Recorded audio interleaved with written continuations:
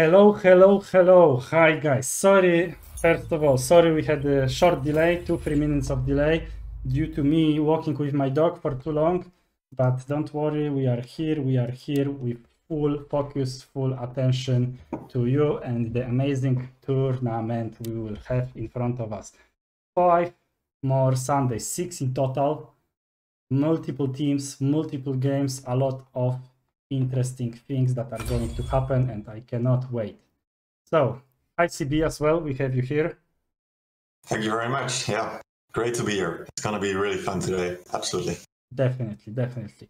Guys, so first short introduction to the ARI tournament. If you don't know, ARI tournament, the name is coming from one of the best, if not the best, actually, yeah, hell yeah, the best German content creator I personally know from the Conqueror's Blade, and his name is Aritoshima. He came up with idea to create this, this community tournament for all the players to play in and compete, for all the teams to also, you know, enjoy, for all of you, right, for all the viewers to enjoy it. So basically, from players to players, we are all playing Conqueror Blade as well. So we know what we are talking about. In February was the first edition. This was only one day, but quite a long day, let me tell you. Right now we have moved far, far, far away from that. We have made a lot of improvements and I hope you will see all of them today. So one of the improvements, and I think the key ones, is we have someone on the other part of the screen. We have CB. Hi CB, you will be the co-caster for today. So would you like to introduce yourself? Yeah, of course, of course. Um, I'm streaming live from the Netherlands, so I'm a, I'm, I'm a Dutch player, a person. Um, I started in uh, season four, late season four, playing Conqueror's Blade during the first quarantine of COVID, of course. Um, I die-hard rushed the game, absolutely loved every second of it.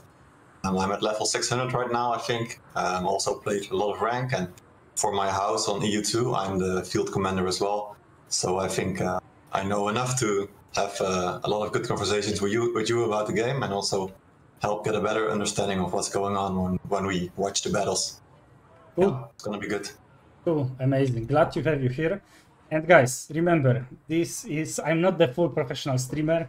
So if you will have any suggestions like the volume of CB might be too low or something like that, let me know immediately on chat. I will be reading through the chat constantly. At least I will try my best to do so.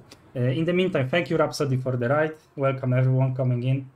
Um, yeah, so uh, if you don't know me, then I mean, big oof for you. But in short, my name is General Combo. I, I am the content creator for, for my games. I'm Polish, so sorry for my English. Sometimes it can be a bit wonky, but I'll try my best. And yeah, I play on EU2. I'm actually I'm like 20 levels away from level 2000 so I consider myself quite experienced player as well.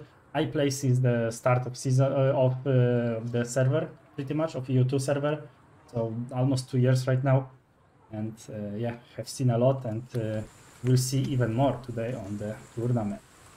So we have um, for the first match. I need to set a timer. Give me a moment because yeah, I forgot. Uh, by the way, sorry for all my issues and mistakes. I am a bit ill and yeah, I don't feel that great, but anything for you guys. I have set up timer right now. It started the countdown. Yes. So we will talk about the first match in 23 minutes in details and you will know a lot of details we have prepared. So can't wait for that. But before we do so, let's quickly jump to the standings and let's see what is going to happen in the group A. So in the group A, we have three teams over here. So the teams are the teams are Arrogant Ravens, we have Nexus, and we also have Eclairides. CB, what do you know about them? Yeah, we know a lot about those teams, especially uh, Arrogant Ravens, are also known as DTI and Eclairides. They played in two tournaments before, uh, the core tournament as well as, of course, of course, the ARI tournament, the first one. Um, they both had a really hard time on the first tournament. Uh, they lost to Eden and Endgegner, respectively. And then in the other tournament, the core tournament, they also lost in the first round and then were paired up against each other. And they both won and lost a single game to each other. So this is going to be really exciting between the two of them to see um, who is who, might be going out of the group, right? Um, and then we have Nexus. Uh, they are a new new team to the tournament scene for us. Uh, we know they are veteran players. Um, they have a lot of high level players. They don't even want to say how high because it's so extremely high level. Um, so hopefully we will find out if they are also a great team. Um, but they are a little bit a dark horse for us. Yeah, I'm really curious to see how they can do in this group. But absolutely a very exciting group for, for us today. Yeah. Cool. And we will talk much more in detail before each matchup about the team, so you will get to know them much better across the whole day. For now, let's jump a little bit back to the tournament itself and let's talk about all the rules and everything you need to know. Uh, also let me tell you that you can uh, use the commands exclamation mark help. If you write it on chat, the bot will private message you with, uh, with the commands you can use. And over there, we'll right now talk, of course, all about the rules, maps, everything, uh, the schedules and so on. But the bot will help you to see where you can find more information if uh, uh, for some reason i don't know you will have to step out for a moment or, or whatever you will not miss anything don't worry there will be a lot of uh, information coming after as well the stream so rest streams and, and stuff like that but exclamation mark help you can check all the rules and everything anytime you wish so let's start with the general ari tournament idea so as i said earlier ari tournament 1 was only one day. It was about seven or eight hours, so it was quite hardcore. A lot of games, a lot of emotions, and it was very exhausting for casters, for teams, and also for some of the viewers. So right now we decided to basically split it into the chunks. And those chunks you can right now see on the screen. We have four groups from A to D, and they will be playing on separate Sundays. So right now, today we have group A, then 25th April, Group B. On 2nd of May, we have Group C. And 9th of May, we have Group D. After that, we will go to quarterfinals. And the last but not least, I, I guess it's actually the most important one, right? So we have semifinals and finals. All of this information, as said, you can check on the Ari Tournament Discord. But that's generally how it will go through. We have 12 teams in total, and they will be divided in those groups but we will talk about them more in detail in a moment, how it will work. Before we go into the details on the, on the matches and, and stuff like that, let me quickly remind you about the betting that is currently going on. So you can uh, run exclamation mark bet command, as you can see on the screen, uh, basically on chat, right? And then the bot will PM you back with the all the message, all the information you need to know about betting. You can enter for free. Anyone can enter, don't worry. Um, but the betting will close in 18 minutes. So basically, when we will, when the counter in the bottom right goes to zero, I will close the betting. And what we are betting for today, we are betting for which team will get the first seed, the first place in the group. So that's what you are betting for. Then everyone who provided correctly at the end of the stream, I will make a lottery of all the correct predictors and we will have a winner. What you can win? That's a good question. Uh, well, let's see. You can win the prizes as such. So today we are fighting for 20 XP cards. I mean, it's not much, but uh, then also for newer players, it can be quite a lot. Remember that they give a lot of uh, additional XP boost, and this is important, right? You need to level up your units currently uh, on the tournament server, fortunately, everyone has maxed out units, so they don't need to level them up. So we will see the, the very good, uh, very good thing going on, but uh, that's the prizes. Also, if you run exclamation mark bet command on chat, you will be able to see all the prizes there as well. So join, please join the, the betting and uh, exclamation mark bet for any information. So that's all of the general information. Right now, let's jump into the rules of the matches. Would you like to tell us a little bit more about this? Absolutely, absolutely. We got a really interesting format, I think. Um, it's very similar to the Ari tournament that was played already. Um, so some of you might recognize these rules and uh, feel like they worked really well last time. We got really positive feedback on these, um, especially the first one where uh, we only will play with the gray, blue, and purple and green units, and it's mean, this means no T5 units. So all the popular units that you see often in siege or field battles, like Pavise, Falconetti, Wing Hussars, Liao Rangers, they will not be available, as well as the Shield Maidens. Um, but we will have Berserkers. So definitely, definitely look out for those teams. Are really excited to play those in this tournament as well.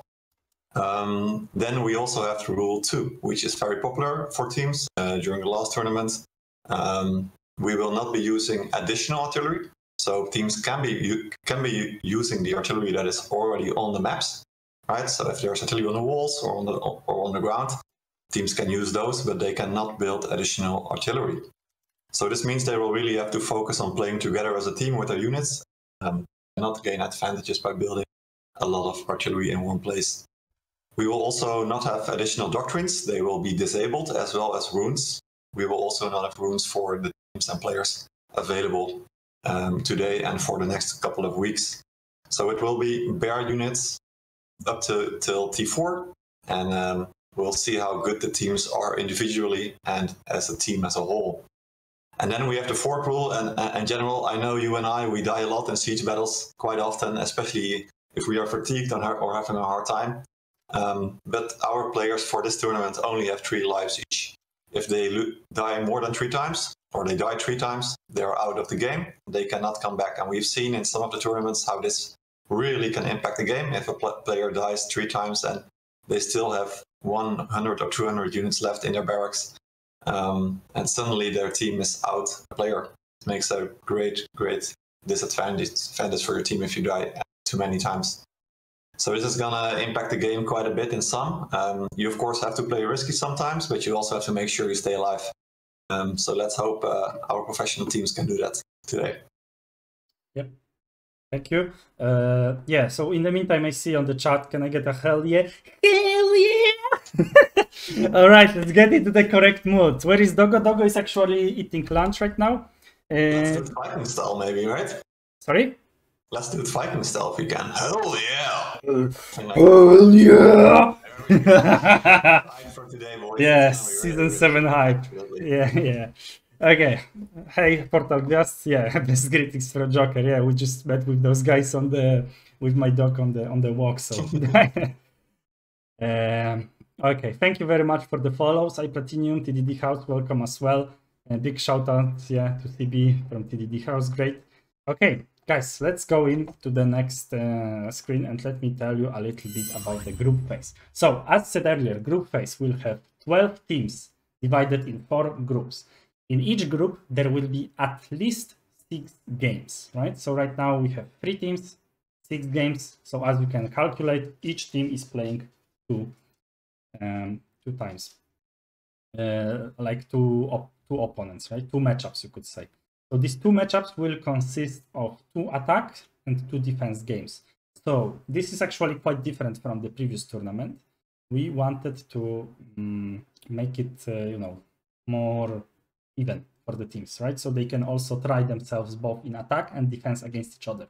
Therefore, each team facing other team, so one matchup, right? One time they will be on attack, one time they will be on defense. So basically, that's how we wanted to make it even. So, you know, if you are better, then you need to prove it on both ends of the wall in the game. So we will see how it goes. And I said minimum six games because if there will be any tiebreakers required, so if uh, they can be two-way uh, two-way tie, so we will not know who is the first place or second place, or they can be three-way tie, where all the teams can have exactly the same amount of wins. Then what we will do is we will have the field battles played between the teams as a tiebreaker. And those will be done after the initial six games. So I will tell you a little bit more. In a moment, we will show you the whole schedule for today, and then we can talk more in details what will happen throughout the day. But for now, let's jump in to what will happen after the group phase. Because after the group phase, we have Yes, the finals, of course. This is where the best teams battle it out, right? Um, we got to dump one team in the group phase, and we know it's going to be the worst team of the group. So let's look forward to the final brackets. It's going to be eight teams remaining. Um, we will have best of threes only. Um, there will be four quarter quarterfinal matches on the first Sunday, and then the semi-final, the third place uh, decider, and the final itself will be played on the second Sunday on the 23rd of May.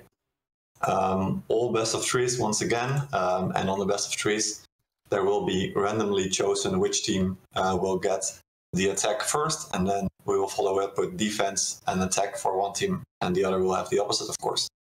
So um, yeah, it's going to be action-packed uh, games on these final two weeks. Absolutely. Definitely, definitely, and I cannot wait for that. The last thing I guess to discuss is uh, the maps. What maps will we play on? Basically, we have chosen five maps to be available for the tournament. And out of these five maps, you can see two are crossed. Dasuo Fort and Valley Fortress are crossed out. This is because we wanted to make it uh, interesting uh, for the viewers, so have more than one map this time, but also interesting for the teams to prepare on several maps, but not on too many, right? I mean, after all, people have uh, other things to do, right? So they, they shouldn't prepare for 20 maps. So that's why we wanted to limit it out. And what we did also is uh, one week ago, before the tournament started, to all the team leaders, we have provided the list of the maps and each one of them were able to provide some ban votes for the maps. We have summarized all of these um, all of these ban votes and we ended up with the results like that. Like that. So basically, Dasuo Fort and Valley Fortress was the, the most banned maps out of the out of the all the team leaders. Uh, oh, give me one minute. And I see there's a question in the chat uh, from Platinum Suledi. So he's wondering if the rules um, also allow in-game points involved in draw decisions. So any tiebreakers or any draws that we end up in uh, group phase will be decided by the tiebreaker through a field battle, right? So we will not be having any units or timers in, like involve what team gets out. It will be decided on during the battle. Definitely.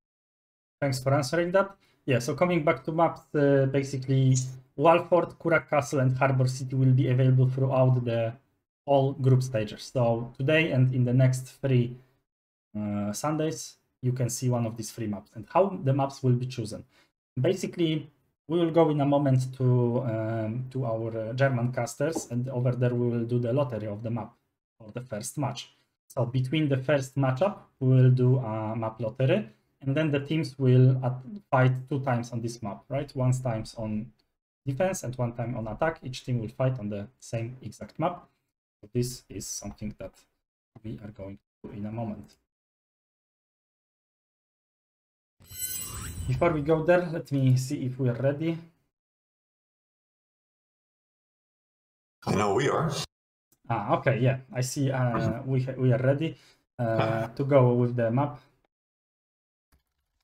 So let's uh, go and agree our new, uh, our uh, sorry, new, new, guys right from the German cast. Uh, so what we need to do is for a moment we need to say goodbye to a CB um, because it will not be unfortunately available, and we need to it.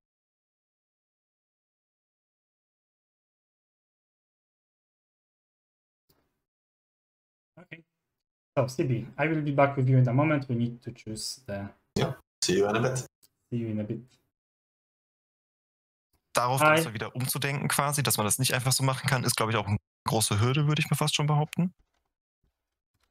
Oder Hello. wie siehst du das? Ich sehe das genauso wie du. Also Sustain, den man verliert, auch durch die minus 5% Damage-Rune äh, oder die, die Waffenverzauberung, die man normalerweise drauf hat, so ein Longbow ohne guten Stats auf der Waffe, ist oft genug selbst versucht. Es ist richtig hart. Du musst jeden Pfeil treffen, ansonsten bist du einfach gesehen relativ useless. Also fehlen halt sehr viele Stats. Ich habe jetzt zum Beispiel. Okay, so it seems that they are finishing some discussions, so uh, I will mute uh, for a moment. I need to modify this because it broke reason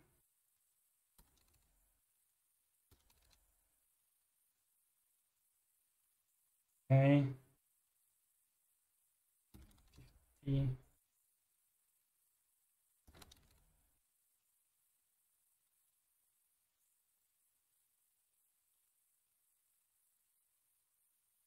uh, yeah, so sorry for that. I mean, this is the first day we are doing stuff like that, so uh, still some things need to be tested and um, perfected. Let's say it like that. And this is uh, this is why we are doing some stuff like like that. But then yeah, we are ready. Here fully. Lassen wir das darüber entscheiden. Okay. Uh, Combo, you ready? Yeah, uh, I guess we are ready to with the wheel. Let me change the scene. Yep. Okay, perfect. Then let's decide. Which map will be played? And it will be Walford. Okay. So the first two matches, um, I hope CB told you already um, that we will Arrogant Ravens and Eclaritas played two times Mhm. so that they can get their IDs fixed. Yep. And then we will have two matches now on Walford. Also jetzt nochmal in Deutsch. Ja, wir haben zwei Okay. Matches jetzt auf dem Thanks. Walford and um, Combo. Mhm. See you later. Yep. See ya. Enjoy. Bye bye. All right. So we are back in business. As you have seen, we have chosen the Walford to be first. Okay. Switch one thing. Give me a moment so that we will be able to see CB once again. It should. Okay, so we have still a few minutes before the match would start.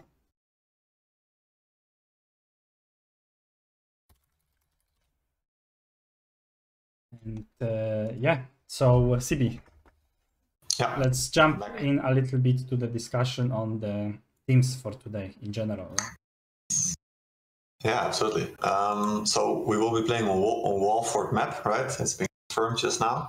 Um, this is already pretty interesting. Uh, we haven't seen this map in uh, any of the tournaments up till now, I think. Uh, uh, I think it has been played maybe yesterday on another tournament, but we haven't seen it too, too much. And uh, we know these teams haven't played on this map, so we will definitely see uh, some new strategies being used uh, by all teams because we haven't seen them on, on this map. So I'm uh, yeah, I'm curious curious about those things. Um, I look forward to see what they, what they bring to the map. Um, we know that uh, arrogant ravens uh, like to throw in some surprises for us. They uh, try to destroy towers with with uh, rat and marksman, and we've also seen Eclairides uh, use uh, quite a few javelins. Um, so both teams like to mix it up. And again, Nexus is going to be a dark horse. We don't know what they play. We don't know what they bring. Um, so we'll have to find out and, and wait for, for the for the game to start as well as well. Yep. And as you have heard, there are some issues, technical issues for one of the team. So uh, right now, what I'm uh, showing is the schedule.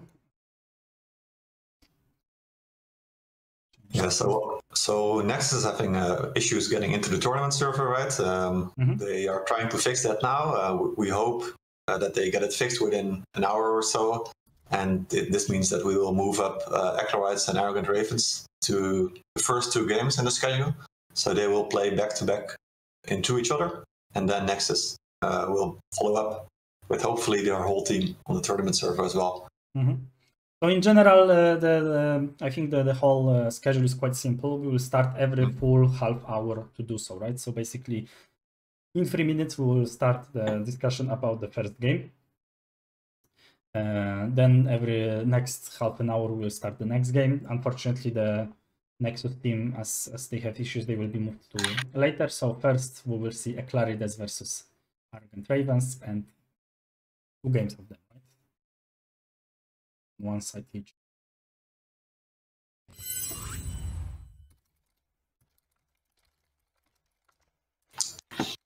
Yeah, absolutely. So, like I said before, right, the Eclairides versus Arrogant Ravens is a is, is should be a very exciting match uh, for us. Um, we know they are equally equally matched uh, at least before this tournament. So they they've also played each other twice, um, so they know a little bit what they uh, what their opponent can do. Um, we've seen especially Eclairides make uh, quite a few big improvements over the tournaments that they played. They started out as a really rookie team with young players, new players. They start, started on EU4, so that's a relative new server, relative new players as well. Um, they had the quickest loss loss in all the tournaments that we've seen. So they've come from a really far far place um, to actually getting wins right in the in the last few games that they played. Um, they got a few players that have been performing really well consistently as well.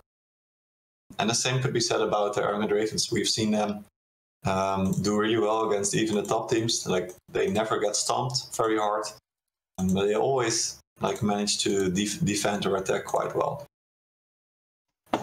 Mm-hmm. Okay, and I believe uh, I'm not. I'm waiting for the final confirmation from the backstage, but uh, seems like the Eclairides will be the first one to attack.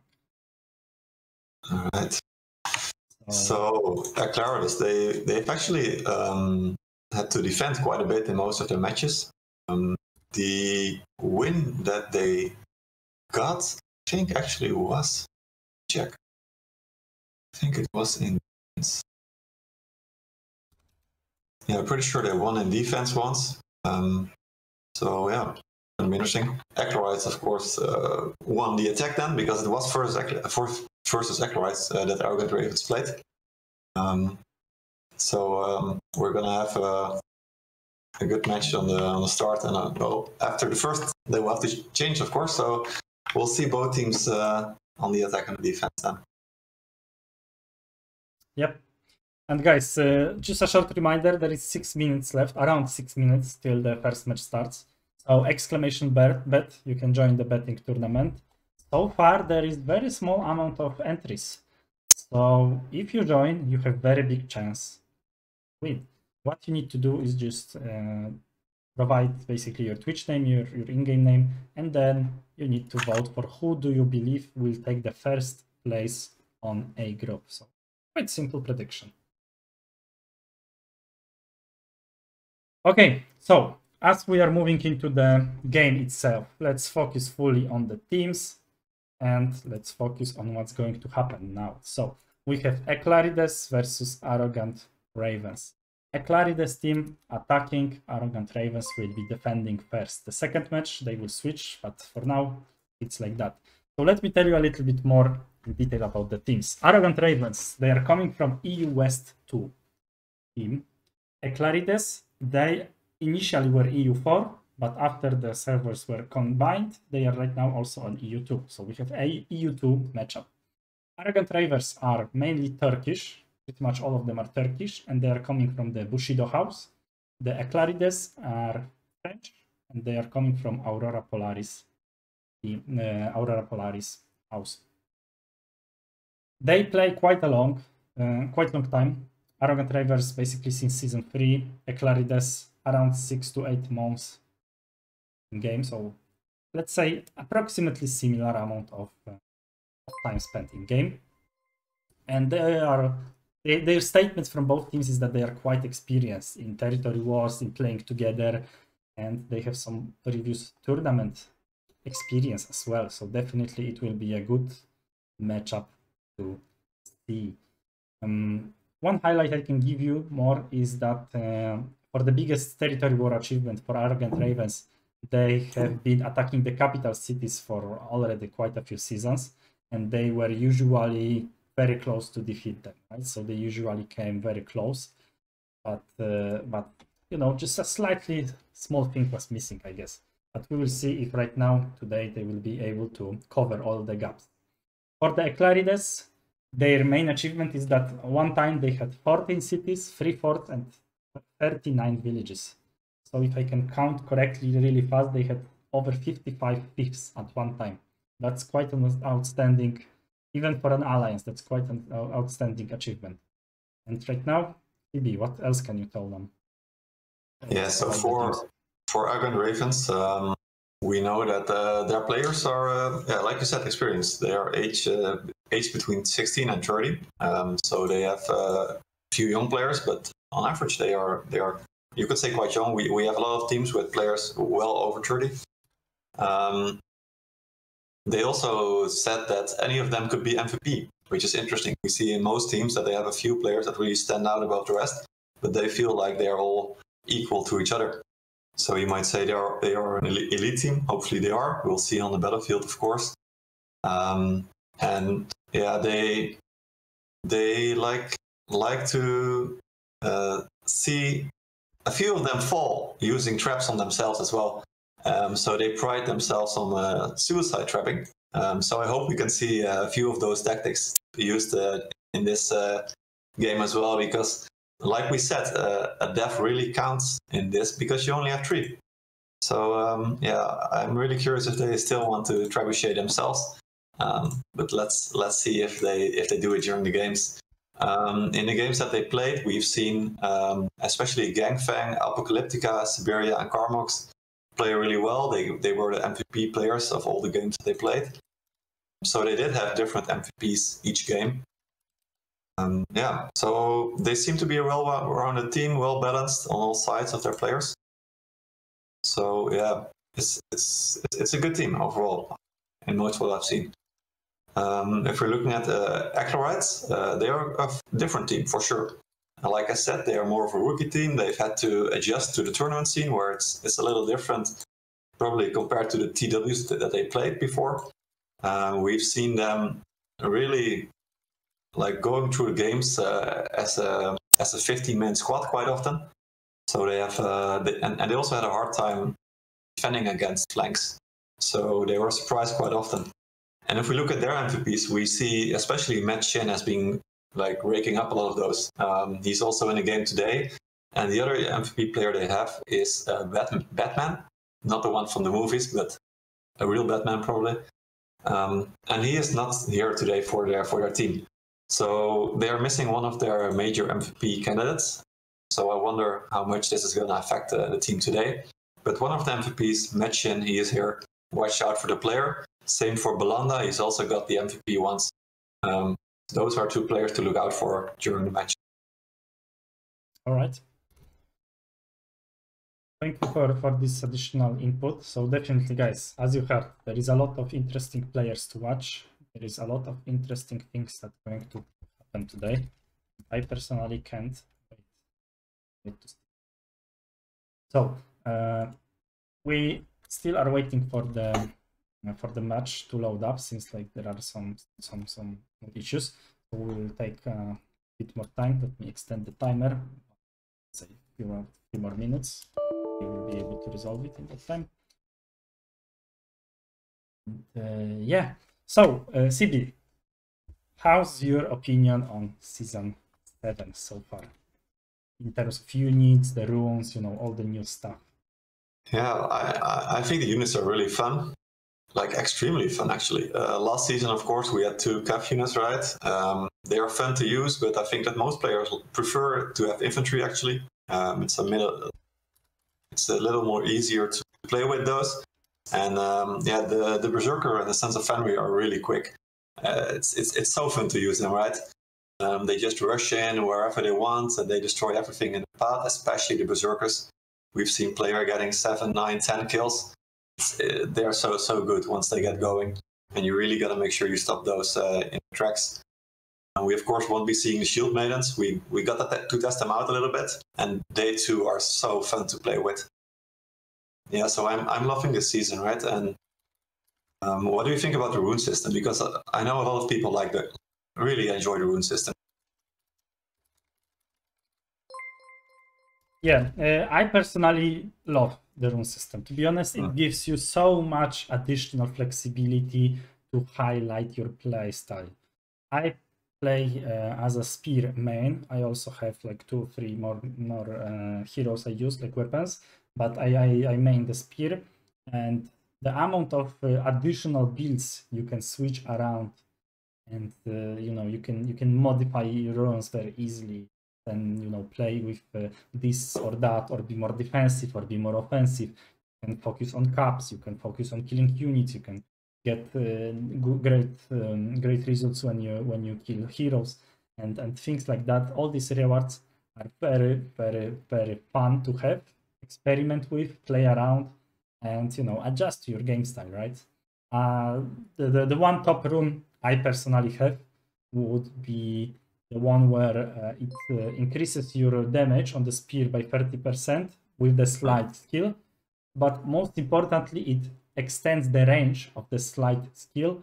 Uh, when you when you do the ground slide, I forgot the name. Actually, I can, I'm in game right now. I can check. But basically, it extends your range of slide by 100%. Just makes it that you can slide twice as far away as possible. The name of the skill is Gangir's Greeting. And Yeah. this, for me, allows to be much more flexible in a gameplay, um, in, you know, dire situations when someone is running with low HP, you kick the spear to him and he's still not dead, you can, you know, come to him with that skill. If you are low HP, you can use it to run away right? So this gives a lot of new possibilities. One run, so many different possibilities. Yeah, this is something that's that's nice for me. Yeah, it's CB? nice. huh? What Uh, would be the especially like you said, uh, I also played Spear uh, a little bit. Once I got uh, a bit bored with Glaive, I'm a, I'm a Glaive main now. I used to play with Longsword. Um, I really love those classes. I like to be a little more tanky because I get myself into sit- situations I pro- probably sh- shouldn't be in, right? Mhm. Um, so I really like to get damage reduction once I am below 30% health, um, just to be a little bit more, little bit more tanky after initial engage and still be able to get out. But like you said, with the runes, some abilities that we have not seen played uh, quite a, quite a bit actually got better, right? Like Gu- Gunnar's greeting, I think almost no one played it uh, with spear, and it's it's really good to find out now that with with a rune you can actually make it useful and and use it in your playstyle if if it suits you. So that's uh, that's that's pretty cool about this system. okay? And if you would have to pick only one rune, like the best rune you have, you like. Best rune. Like for sieges, it's gotta be the bandit shielding, right? I think. Um, I, at least for me. I mean, I run into Namkhan so often with my horse on my glaive, spinning around, right, trying to kill all of them, but they always manage to get like 15 bleed stacks on me, and you just pop heal and it's there, it, it's gone. That, that's so amazing for me. Um, so I think that that's like the a big game changer for me personally, at least. All right. Yeah, yeah. I mean, Namkhans are can be the pain in us, definitely, but uh, yeah, it's you see this this short discussion. It, it already gives me a great um, feeling about the this, the rune system, right? Because you like this, I like this, and you tell that, and I immediately think myself, well. I don't use it. Like I watch out for Namkhans. I have like a Namkhan radar, radar, radar. When they are nearby, I just don't go there, right? And this is my playstyle. I just don't go near them and don't get bleed and don't use this rune. But you play differently, use it, and this is something that I think it's un- unwritten in any you know tutorial or anything like that. You need to experience it yourself, try around, play around, test out many different things, and then you can come up with many different conclusions talk with others, compare, see how is it going, and uh, yeah, this is definitely, definitely that's that's what I like the the rule systems the most. Yeah, it's very good, very good. Something else I really like is uh, that some of the runes are so good in uh, more of territorial war, right? Uh, I think most most people actually play in those, or and if you haven't, you, you definitely should. It's so much fun to play with a house with a big team, try and get the city of your own, right? Or even a small village. Um, and some of the runes allow you to, once you die, you heal or you damage buff all the teammates around you. So if you're 10 men stacked, it's so good, right? It's it's so juicy to get all those heals or all that damage back into into your team. Um, yeah, it's it's so much better than. But in sieges, you quite often you're on your own or only with two or three people, people maybe, and then it's it's less effective. Of course, you don't really see the effect of that rune. But in territorial wars, it's it's also different strategies. Like you like you say, you can tweak around and use what works for your team the best. Yep, definitely. So a lot of things to to try out. And about the units, we have right now on live servers only two units available from the new season: the Berserkers and the Sons of Fenrir. Did you had any experience using them? Yeah, I played with the Sons of Fenrir in the start. Um, didn't like them at first, um, but then I saw this clip where someone actually like x them forward, used the sprint uh, to Pavise actually, and charge the Pavise, and they just wreck those uh, units. So I think they definitely have potential, but they feel a bit squishy sometimes. You really gotta use their speed. That's probably their advantage, but it's it's hard to use quite, quite often. The berserkers are a whole different story. They are just absolute absolute beast modes. Um, they they are so good. Um, I played them a little bit with my uh, like three day uh, experimental stuff. Um, didn't unlock them fully because I still try to get season three units. Um, they're so good as well. The berserkers, yeah, they're they just wreck through everything. Yeah, absolutely great unit. Um, I'm really looking forward to today as well, right? To see if uh, teams will actually use uh, the berserkers. Mhm. Um, I think they can be really good, um, but they can also be stopped quite easily sometimes. Like we've seen a lot of uh, teams um, play musket, and muskets can almost one-shot berserkers. Mhm. So if you're not careful, you will lose uh, all of your berserkers before they even get somewhere. So um, yeah, but I think it's they're very interesting units. Once again, they they might change the meta a little bit. And we've seen in all the tournaments that there's a lot of stalwarts, of course, Imperial Pikes Fortebraccio, right? Yeah, Those but are the main units. berserkers work fine against stalwarts. Yep, Well, absolutely. like short Um. Yeah, yeah, they're really good, and, and and they heal, which is a great ability, right? They heal for so much damage that they take. I don't know. Have you have you played them and like gotten a almost death berserker, death berserker back to full health? Uh, not the full squad, but some of the soldiers, yes, they were able to, thanks Mhm. to that healing, they were able to withstand much longer than they should. Yeah, yeah, exactly. Like, but they did, right? Yeah, That, that's so cool to see. Yeah. And frustrating on the other side if you are like, oh, he's almost dead, and then back to full health or close to full health, and yeah, you're just out of the game. Then. All right, guys. So, if you are not sure why we are just talking and not playing, uh, short uh, short reminder: the one of the teams had unfortunately some technical issues issues with the server access, and they are working on that. And in the meantime, we have had to change the schedule a little bit around so that the teams that uh, have the issues would play later in the day today.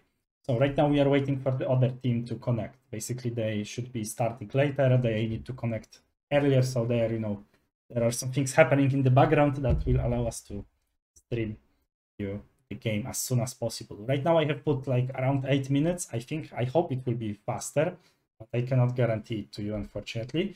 Uh, one of the teams is already fully on the server. We are still waiting for another one.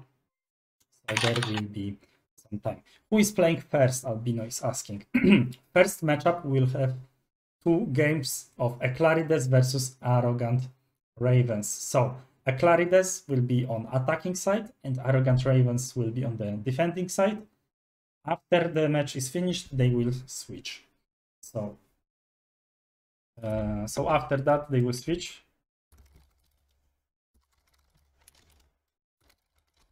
Um, and and then we will progress with, with other teams in, in Group A.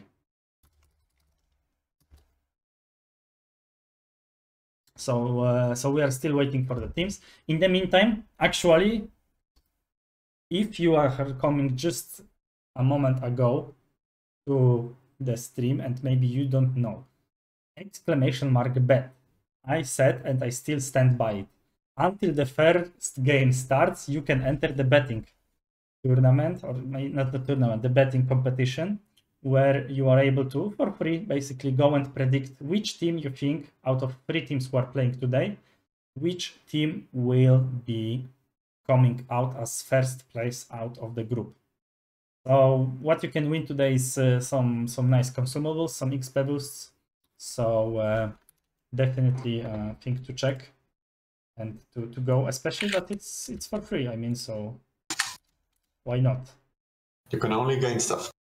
you can only gain stuff definitely right now basically you can enter exclamation mark bet the bot um, will tell you on pm the stream elements bot will pm you the information you need to know where to sign up you just go to google form and and, uh, and sign up pretty much and then after uh, when the game starts i will close the entries after the whole tournament i will make a lottery of all the people who predicted correct, correctly and then you can win some prizes.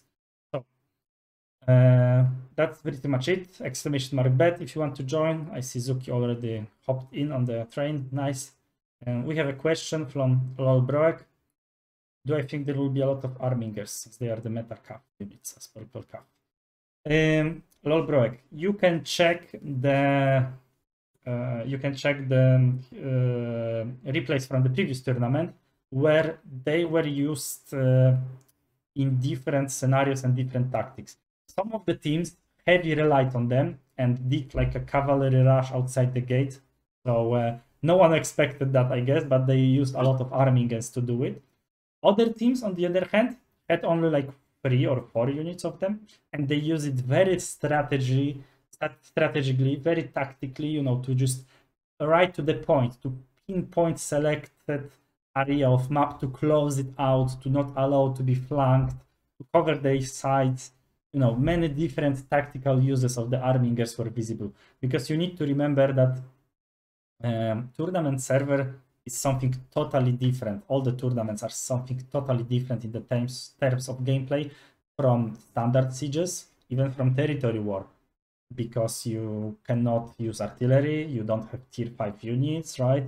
You are playing uh, in territory war, you are sometimes, you know, fighting uh, uh, cohorts which cannot be, which can be not so organized, or sometimes you, you know, fight against uh, uh, houses which are just, you know, more new to the game uh, while here we have the creme de, la creme de la creme, right? The most experienced uh, guys from given houses, and the houses that are represented in the tournament are quite good houses with quite a lot of achievements behind their back.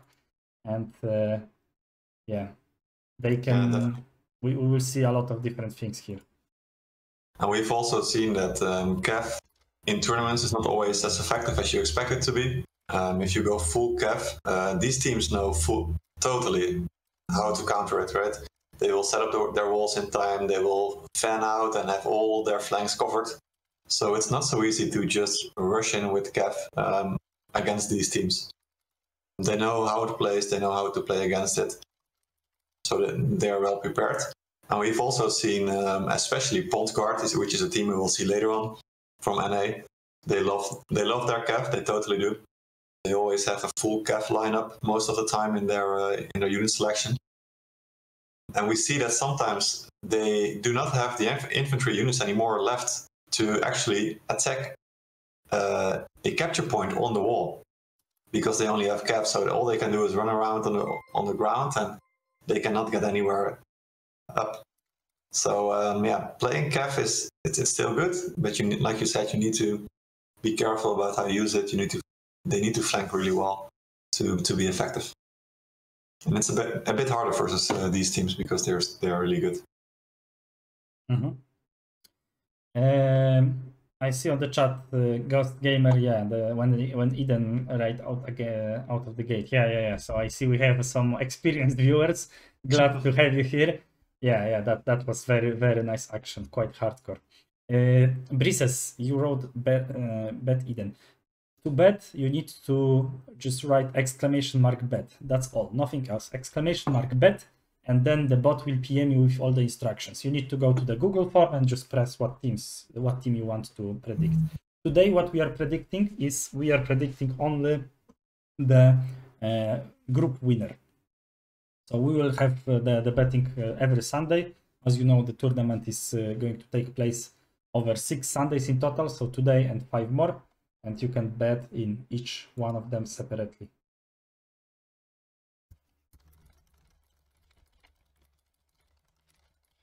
Okay, so seems like uh, we are doing good progress in the backend uh, with the preparation. There is like seems like only one last thing to fix, so it should be quite fast, I hope. Um, yeah, and we have asked also questions from Lord Brock. Uh, if there are if there are musket players, do I think they will use shotgun run? Uh, actually, seems like you are a little bit late. We talked uh, at the beginning a little bit about the rules, and the runes are banned indeed. Yes, runes are banned, runes are not allowed. You cannot use runes, you cannot use doctrine. So all of this will be uh, maybe we can show the rules again, uh, just for those people who joined in later. Uh, we can go over them. Um... Yeah, let's let's quickly jump to that. And uh, but before we do, Far Cryer, how to see the team bracket. If you write exclamation mark help, you will receive all the. That's actually a good thing. If you write exclamation mark help, the bot will PM you with all the commands you can use to check the rules, the maps, and everything else, right? On the official Aritournament Discord, you are able to watch through the through all these details and then uh, yeah you can you can check it there but uh, don't worry i'm a good guy so i will post also here to you the on chat i'm posting right now the, the site where you can check check all the standings all the groups all the teams and yeah so let's go to the rules so cb if you could uh, quickly go to the Yeah, movie. absolutely. So these will be the groups, right? So the rules um, that we have is uh, first of all, of course, uh, no T5 units. We've said that before, I think, and um, so we will not be seeing any Wing Two Zars, Liao Rangers, Pavise, for Falconettis, um, all of those really expensive units in the game that can greatly impact uh, what's going on. They're really strong, but they will not be used today. Uh, so we will be seeing everything up till purple units or T4. So mostly you will see teams use stalwarts Fortebraccio Imperial Pikes. They are like the, the, real meta units. And then we always have uh, a lot of blue filler units, uh, mostly Sicilian Militia. They are actually quite popular. Um, we see Namkhan, we see Landsknechts. And we also see quite a bit of Javelins sometimes. So all kinds of different units, but not the not the T5. Then we will only be using the artillery that is already placed on the map. So there's artillery on the walls, of course, on each map. There's artillery on the ground. Those can be used, but teams cannot place any additional artillery. And they can also not use the doctrines. So there are some doctrines, especially in this season, right, which we haven't talked about, but there are quite a few new doctrines um, out there for units that make them more more effective but they will not be used today. So all units will have to do it with just their veterancy lines, and the heroes will have to do it without the runes. Heroes cannot use any runes during this tournament. Um, so it will be bare heroes with just their weapon and their armor, which they get from the tournament server, and they're all the same.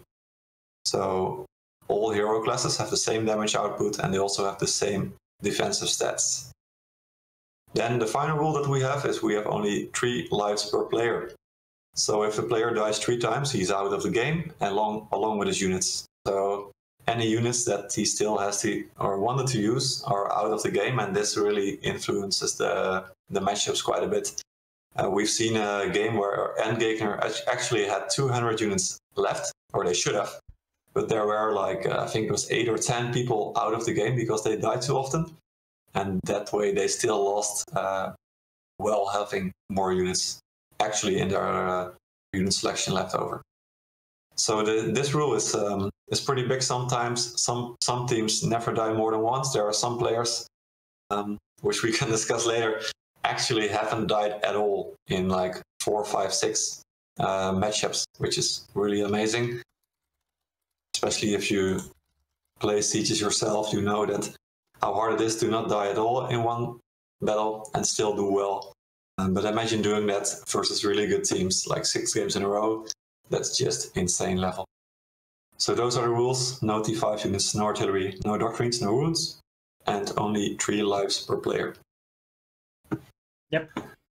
And then we can also quickly talk about the group phases, right? So as you know, as I said earlier, uh, six Sundays will be the tournament uh, taking place. First four are group phases. So in group phases, we have four teams divided into four groups, so three each. Out of each group, two will advance to the quarterfinals, right? So one will be eliminated. So today, one of the teams will be unfortunately eliminated fully out of the tournament. Other two will advance. In each group, we'll have six games total. Uh, each team will play two attack sides and two defense games. So this is a bit different from the previous tournament. We wanted to make it more equal. So right now, right now you need to prove yourself both in attack and in defense, right? Otherwise, you it will be one-one. So you will go even. And last thing is the tiebreakers. with having six uh, games, right, there is a higher chance of potential ties, so the tiebreakers will be decided in the field battle afterwards. Then uh, after the group phases, so this will be the first four weeks, the last two Sundays will be final bracket. Yeah, and in the final brackets, we will have eight teams remaining. Three te- of four teams will be out, right? They uh, each each group will have one team dropping out of the tournament, and the final brackets will be best of threes only. So all teams will play uh, against each other, uh, best of three. If they win two times, they go through, um, but they have to win two times. And the game for third place will be played on the sixth week, like you said, and it will also be played with the final and the semi-final the same as well. So yep. the finals will be lots of games on one day. They will actually they will be action packed, uh, absolutely, and it will be eight of the best teams that we have. Yep. So cannot cannot wait for that. And the last thing to talk is maps. Basically, there were three maps chosen to be used in group uh, stage out of five, right? Uh, the, the two bans you can see, so Dustwall Fort and Valley Fortress were eliminated by the ban votes from all the team captains. They wanted to not play on these maps during the group stage, so we have three uh, remaining available. And if I recall correctly, Clarides versus uh, Arrogant Ravens match, right, uh, which is coming, will be played on Walford. Yeah, absolutely. So, what do you think about Walford, uh, General?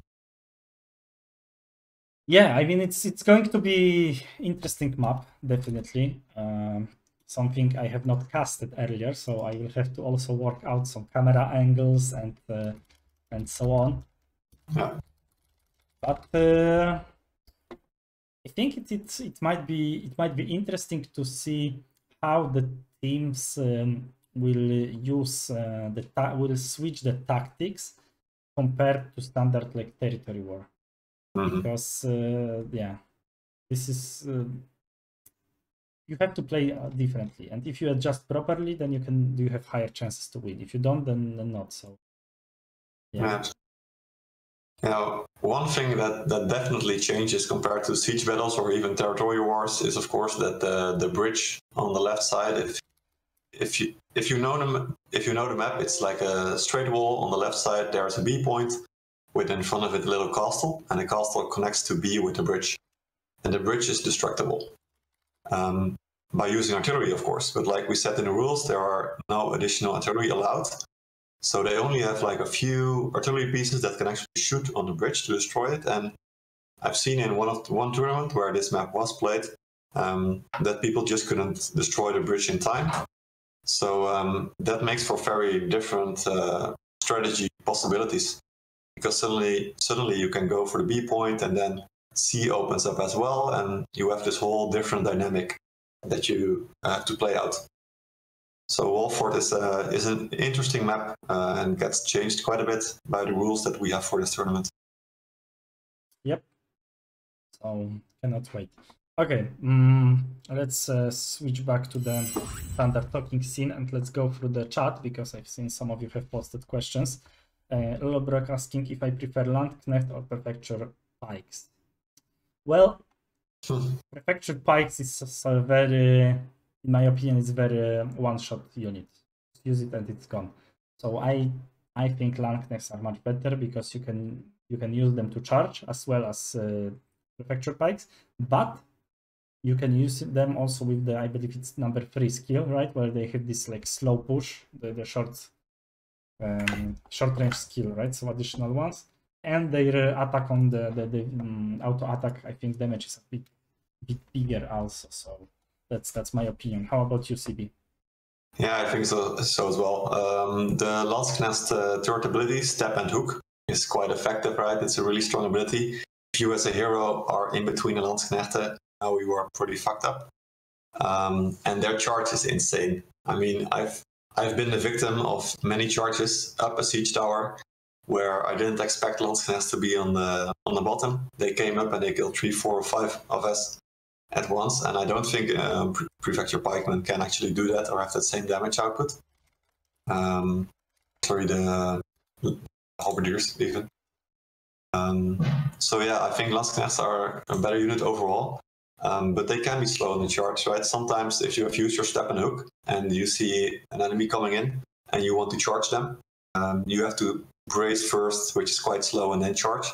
So there definitely are situations or maybe play styles that you might have as a player where it's better to not use the Landsknechts, but the Halberdiers or the Prefecture Pikemen instead because they have a quicker charge. So Yep. yeah, I think that's uh, that, yeah that's uh, that's what I think at least. Yeah. Okay, so I have. Uh... Okay, so I have a final confirmation right now uh, about Great. the, what's going to happen. So seems like uh, the initial teams that were supposed to play, so Nexus, they have resolved all their issues and will be ready in about 10 minutes to start the game. So we will be fighting Nexus versus Eclairides as we mm, had this initially planned in the schedule. Let me open up the schedule then. Give me a moment, please. You can all see. Uh, here. So, who will be playing today? When? Of course, the times at the top have to be adjusted a little bit. Uh, but, but yeah, life. You cannot plan for everything. So Nexus versus Eclairides will be playing first, and Nexus will be attacking side. So we will have to uh, once more pick the map.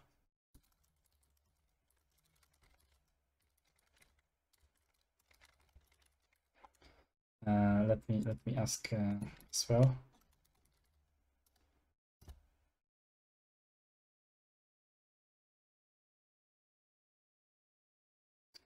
Uh, yeah, so Nexus team finally resolved their issues. Sorry, guys. I mean, it's like holy moly, it's 35 minutes delay. We've been talking for quite a lot time, right? But uh, I hope it was uh, as uh, pleasing for you as it was for me discussing with CB on the uh, wits and, and whatnots about the season seven and the teams and so on. So uh, yeah, we will do the teams introduction in a moment. I'm waiting for the confirmation on map uh, pickup when we can ch check the map. We will be doing the map uh, for this matchup in a moment uh, because the the other teams are playing, right? So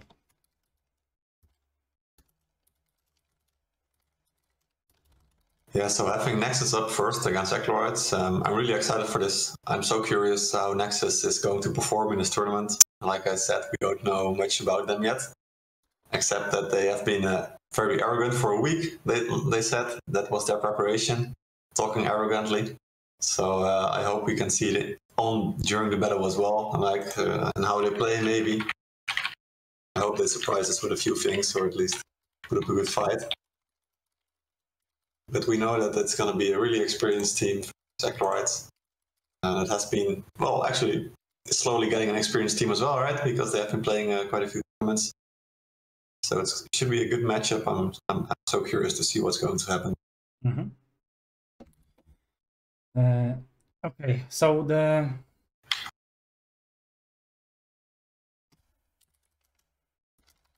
Uh, I'm still waiting for information when we can do the map uh, pickup uh, for this matchup, so we'll see in a moment. Uh, but yeah, we can talk. We can start going into the discussion about the, the matchup, right? So we'll have Eclairides versus Nexus. Nexus on the attack. Nexus versus Eclairides, let's say it like that. Eclairides pending. So uh, we have just a few minutes left. You can conf- uh, you can confirm CB is a good field commander. Okay, good. Thank you very that. much. Uh, yeah, guys, so let's go. Uh, Nexus team. Uh, today, they are only one team, the, only team that is coming from EU West 1. So all other teams, Arrogant Ravens, Eclairides, they are EU2. Nexus is EU1. Basically, they are international team. They uh, they play for quite a long uh, time, since since one hour they are one hour veterans as they describe themselves. So I imagine they play since since first hours of the game. Uh, they joined the tournament to be a bit more competitive, but also have fun. So I mean, definitely a lot of fun is going to happen. Uh, let's see if it will be fun if you know if you lose. I wish them the best, of course, but let's let's see what fun will will come. They are uh, aiming for the chicken dinner in this tournament, so winner winner. I guess first place is is what they want to to to achieve, and uh, basically, yeah, they participated early earlier only in the dueling tournament. So they don't necessarily have any bigger tournament experience. So this might be a disadvantage for them because as said earlier, the, earlier they are playing versus Eclairides and Eclairides they are right, now playing in the core tournament and they also played in the first Aritournament. So they have definitely much more experience, tournament experience coming here hmm, into that. On the other end, as said, Nexus team is playing much longer. Eclairides coming initially from EU4 server.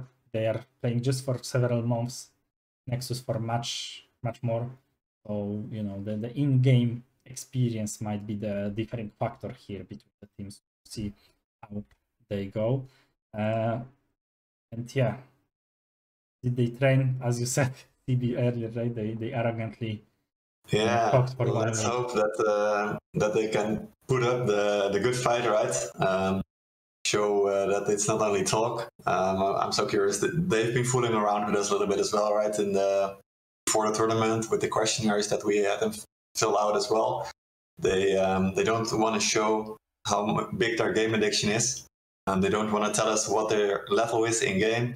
Um, but it's it's got to be in, enormous, right? If you play from the first hour um, I know there's a few people that have over level 5000. Um, few people admitted it, um, but um, yeah, it's it's so good. And they also seem to have quite a few stories. Like, well, you gotta have a few, quite a few stories if you play if you've played together for so long. So um, if you're hoping to hear more about those, you should bet right exclamation mark bet in chat and vote for uh, Nexus hope they get out of group first and we get to interview them. Um, they might be one of the funniest, most experienced teams in this tournament. Not in the tournament scene necessarily, but maybe as the players in this game. So um, yeah, I really hope they can put up a good fight. Um, we also know that they actually love the the season. They absolutely absolutely like the the berserkers, for example. So uh, like we said, let's hope that they actually use the berserkers. Maybe they 15 man berserker uh, into the first game. Uh, General, who knows? Would be really fun to see it.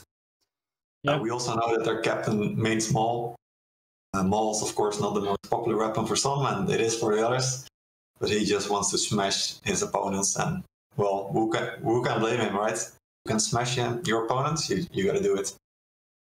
So uh, yeah, I love it. I think I love this team already, and I haven't even seen seen them play. Um, I hope it's as good as they say it might be. Uh, we can also see in their age, like the the youngest player they have is 22, which is quite old for uh, even a gaming community or even uh, like average game team.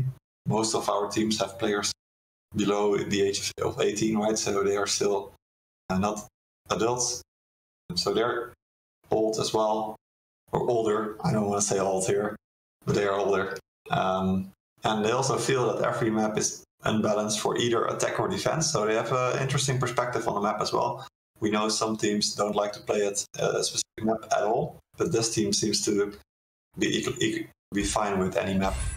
Okay, and as you can hear in the background, we are jumping into the game right now. So guys, finally we are here, ready for the battle let me switch quickly um, good, good, good, good. to you. Yes, finally, finally, finally, after so much time, right? And uh, actually, the teams are um, switched. Uh, so we have the next on the right side. Um, basically, they loaded in like that. So the Eclairides were already here. Nexus loaded in later. So let me switch that up. we have all the correct things here. So let's focus on the game. We have the Eclairides team versus Nexus. Eclairides we can see having a lot of heavy armor, but also quite a few spears and muskets. So definitely we will see how where it goes. On the other team, Nexus, we have two long bows and one short bow, so very heavy on the light armor compared. What do you think about the units, CB? Yeah, so at first I saw um, the defender squad actually taking a lot of berserkers, but they seem to have switched to armigers right now. You can see a lot of armigers on the on the defender side. So I'm curious if they want to sally out maybe from the fort. Um, it's a really good possibility. I've done it quite a few times as well. Uh, we also see quite a few javelins on the Eclairide side. Like I said in the pregame, uh, they do love to play with the javelin sergeant. So it seems that um, we got what we expected from Eclairides, but also some Berserkers. And on the Nexus side, they are starting with uh, quite a few Cav in there. Mm-hmm. Okay, let's take a short breather, guys. Hype up in the chat. Come on, spam some fucking emotes. Let's go. I cannot wait. Finally, after how many? 45 minutes. Let's go. Eclairides versus Nexus. Nexus defending, Eclairides attacking. Let's see what the team will take. Let's look, let's look. And keep, again, keep an eye out on Balanda and Metchin. They are the MVP players for Eclairides. So so curious to see how they will perform. Metchin on the glaive, Balanda on the maul. They can dish out the damage. We've seen that. Yep, and we can see very, very quickly what is going to happen. The Eclairides team, all of them except Kiwi Choco have spawned here near the fort. You can see that they are climbing the ladders. They will open up in a moment and try to climb it. Let's see if the Nexus team can react in time. They are already starting to shoot the breach. They are going to try to destroy it. Remember that in the tournament you cannot place additional artillery. If you will not destroy the bridge immediately, then you are out.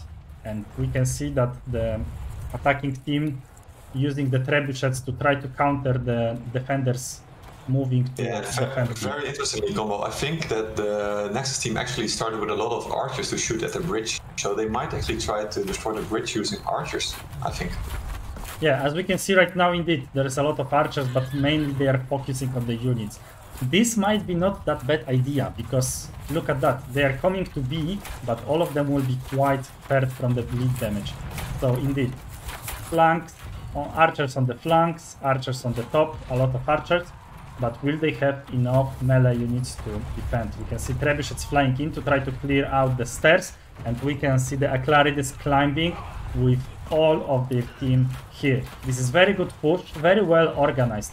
All of them are coming. They have some small cover from the Namkhans in the back, but most of their units are melee. And we can see, yes, they have bring more melee units, more shields, more heavy units, and they were able to just kick Nexus out of here without pretty much any fight. I would say for free. Yeah, totally. We, we haven't seen any player die yet. Um, traps keep flying in, of course, um, as Nexus retreats. Um, and they have to defend C next uh, because B is already fallen. Yeah. And if they are going to continue the tempo and push, they will be able to capture the A point for free. And that's what they are deciding to do. Eclairides leaving like two people or three people just to cover the stairs, cover the back, moving with most of the force to A side. But they? seems are they? They might switch it up here. Look yeah, seems like they noticed that the defenders of Nexus they don't really defend A point. There is just two people, as you can see right now, defending A point, and they cannot hold it against like three or four people from Eclairides. So it seems like they will be holding here on this upper point, shooting the archers down to all of the enemies, trying to kill as many units before they will be pushing the point. So Uh, let's take a look at the units that are on the field right now. Um, you can see Nexus is actually putting out a lot of armigers, so they are already expecting or expected maybe that Eclairides was going for the C point and get on the ground. But well, as we see, they are, are currently capturing A instead of C, and Nexus is kind of caught with the armigers on the ground there. Indeed. And we have 12 trebuchets left. This is very open map for C and especially for the last cup. So this can be crucial. Only 3 trebuchets used to capture both A and B. A lot of firepower available for Eclairides for later on. But right now, seems like the game cooled off a little bit. Nexus have rethinked their strategy, repositioned, cooled down, pretty much said, guys, we lost A and B, but don't worry, there is still two more points to fight for, and they are doing it right now. We can see very nice coverage in the gate with the cavalry. He's waiting, Altsas is waiting for, for anyone to come down and attack them from the side. But then we can also see the good trebuch coverage. They are not allowing the defenders to come here. As there is a moment before the push, let's take a look at the stats. Yeah, we could see Machin, right? Uh, he's got the most unit kills already, so he's uh, showing up today again, uh, aiming for that MVP performance once again. Um, we only got one death uh, so far. It's uh, Kiwi Choco who's got it, and he's been performing pretty well on tournaments quite often as well. Um, and then the units, yeah, nothing special so far, just a few down here and there, except for Machin taking out quite a bit uh, as trebuchets continue to fly in on the ones. Yes, and the trebuchets is the key thing here. This is the big advantage of the attackers. Defenders don't have any more any artillery available. The only one they could use was on the walls, and walls are long gone. So right now, what is happening is a bit of stagnation. I believe that this stagnation is due to the attackers going to heal up and regroup the units. Remember, this attack was quite fluent, quite fast, and quite aggressive. They have not used too many units, they have not lost too many units, but many of their units were under constant fire of several Namkhan archers and different ranged units. They have lost a lot of health. Even if they have not died, they have lost a lot of health, and right now they are regrouping, healing back, and we have our first kill happening here. Ah, sorry, this was yeah. two kills already. All right. And I don't want to hype him up, but there's Machin again, right? Taking the kill. Um, let's see if he continues his performance. And um, as you can see on the map, right, it's kind of split left to right currently because the supplies are so far stretched out. And this is one of the things that makes it so hard to attack here. The attacker team really has to get the supply on the right side if they want to continue pushing forward because the right supply is so close to the C point. So somehow they need to get down and they must be discussing how they want to approach this because they're waiting for quite a few minutes here. Yeah, this is something I have noticed indeed. The resupply on this point, it takes a lot of time. That's a minus. You have to walk a long way, right? You cannot even go directly here. You have to go here, through the stairs. You have to then climb up. You have to go to the wall, and then you are back. And seems like the units are just coming back. Look at that. They lost like three, un three minutes just to heal back their units. Imagine if their first push will not work.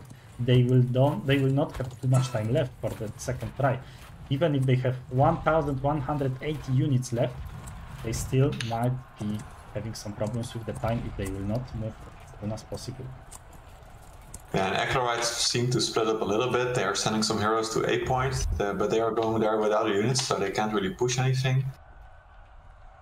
They also, of course, still have the gate closed, um, which is interesting because they might be able to use the gate to get some uh, armigers through there as well to get maybe quicker supplies because the tree of course takes longer to, to get to get there. Um, and when, yeah, right now we just see Eclairides doing what we've seen them doing in other games as well. They keep they stay grouped as a as one big blob and look for opportunity. So before they push, let's quickly, because push is coming in a moment, let's quickly look at the defense. We can see some cavalry on the side. We can see some of the javelins on the side as well, so this will be flank damage coming in. We can see some Janissaries, very nice unit in my opinion, if placed correctly and allowed to shoot for a long time, they can really do the damage. Then we have some Namkhans hidden behind here, another Namkhans played very aggressively. Probably this one might be used to bait out trebuchets. Attacking team, still 10 trebuchets left, they might be uh, using this unit to bait. And we have a lot of cavalry here, to come out from different directions. Remember, attacking team didn't open the gate. They don't have any cavalry available yet. They are in disadvantages here when it comes to mobility. They are pushing out. Let's take a look behind them. Let's see what they do, where they go, how they play this one. We can see they are having a lot of pike units combined with shield units to stop any potential cavalry. We can see Kiwi Choco blocking here from the right side with Imperial Pikes. Very good flank blockage, but there is one more entry. Let's see if these will be used. They are coming into the point. To block off the back, that is one of the dangerous places, right? Indeed. Right now, we can see, as I said, cavalry coming right from where I said, and also from the front, from the left, from everywhere. The cavalry is riding from all the directions. But look at that, there are a lot of heavy armors, a lot of shields and pikes. They are right now holding okayish, I might say, from the like this side. Yeah, so far they are. Uh, looks like some cav got through, which shouldn't have, but right now they are defending quite a bit, but looks like they are getting overrun slowly. The reinforcements can keep coming in. Maybe look at the supplies, see if there's new ones coming in as well. And we can see actually on the top right now from the unit left that there is 700 units left in the attackers, 900 in the defenders. This was very heavy clash. A lot of units locked on both ends as you can see, a lot of dead bodies everywhere. I can barely see the floor of the seaport here, but this is going to be successful defense from Nexus team, even though they have lost a lot for it. There is just a couple of cavalry units left.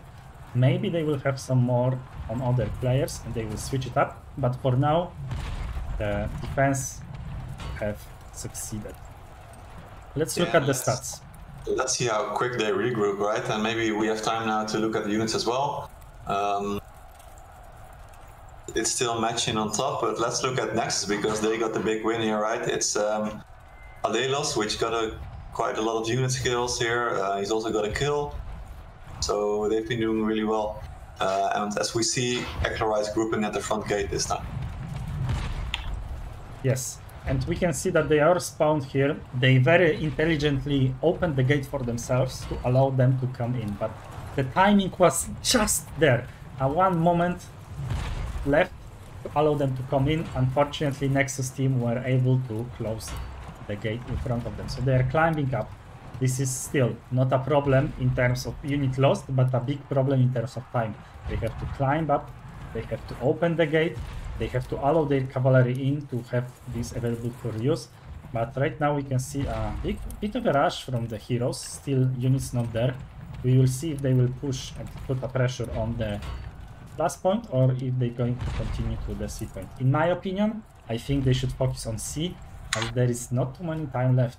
Five minutes, you still have nine trebuchets. Use them more aggressively.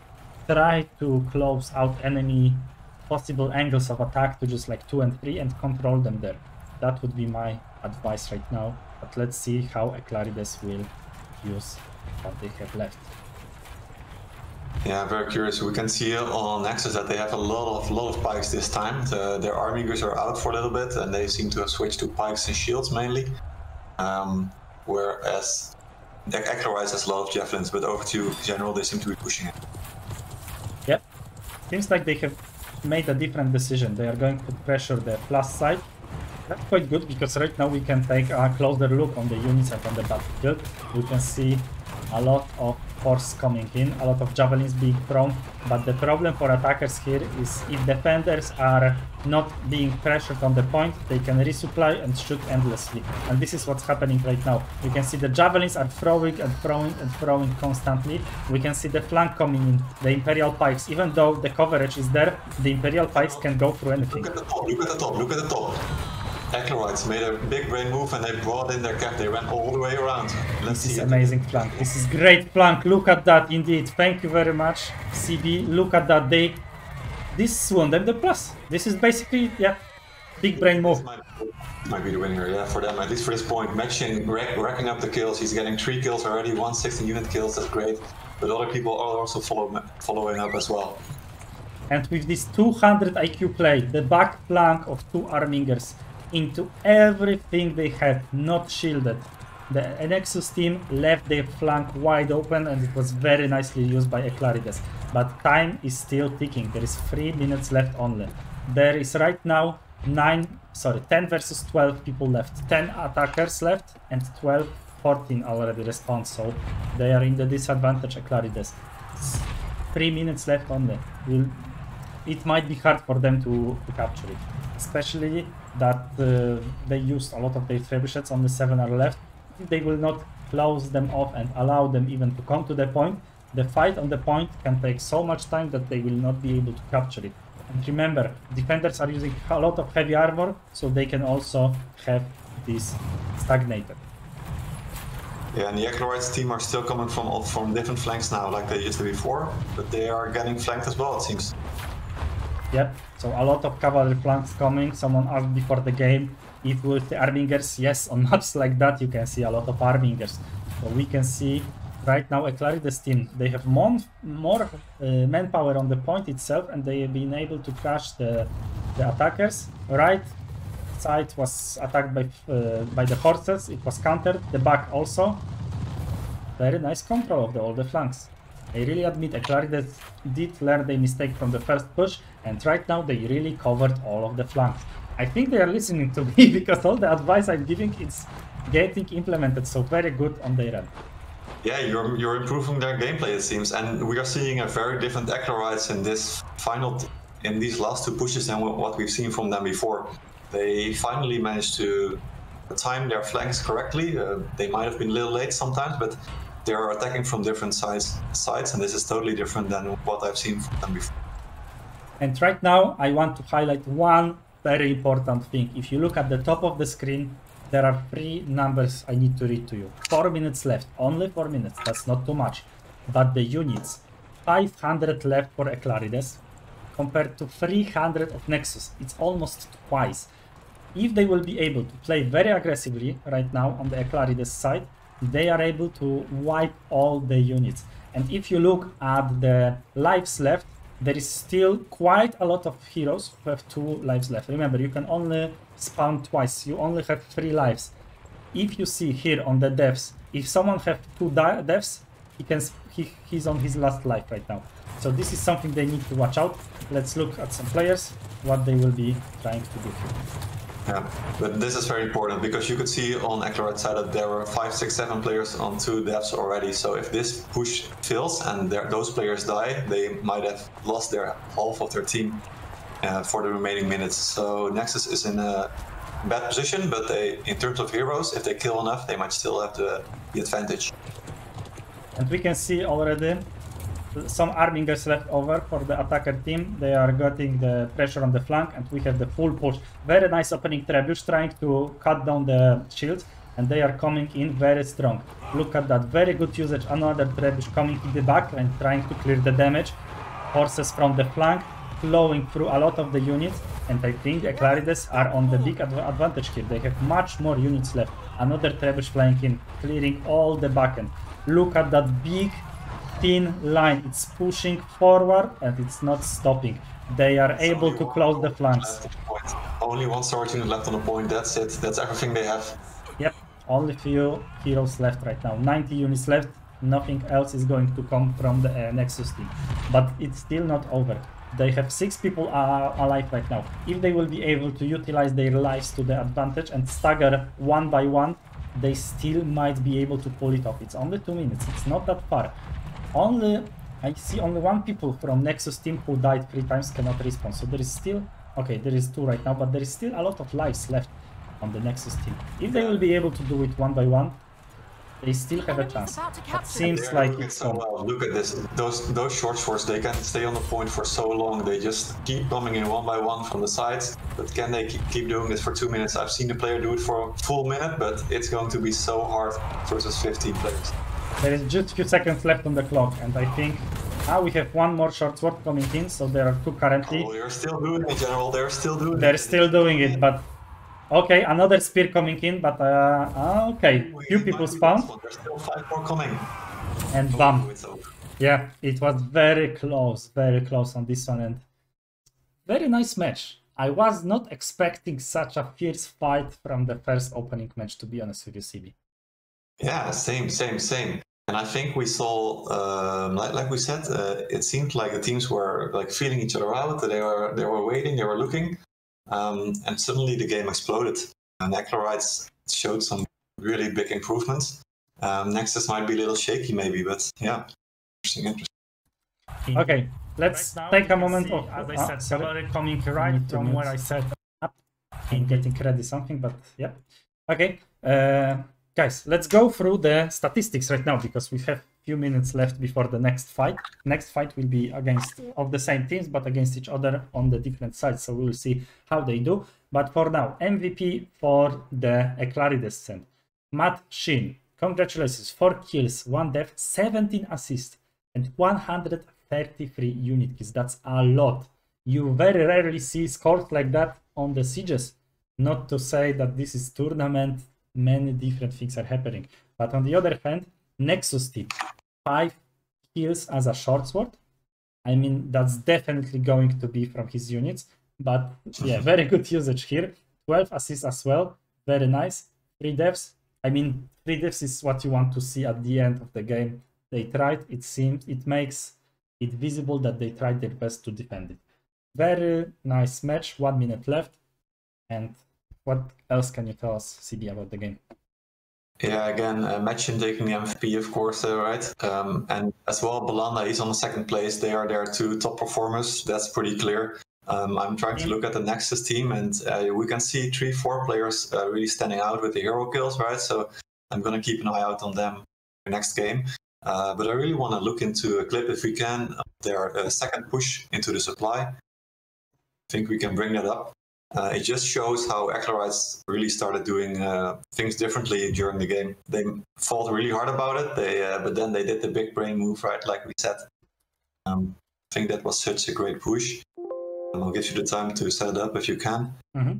Um, that was that, that was wonderful to look at, right? Um, if we take the clip, you can also see how long it it took them to even get there, and it almost failed because their main push was actually almost going down. Yeah, you, you need to give me a, a bit more time yeah, to prepare it. so, what can you tell us about the post game screen, maybe?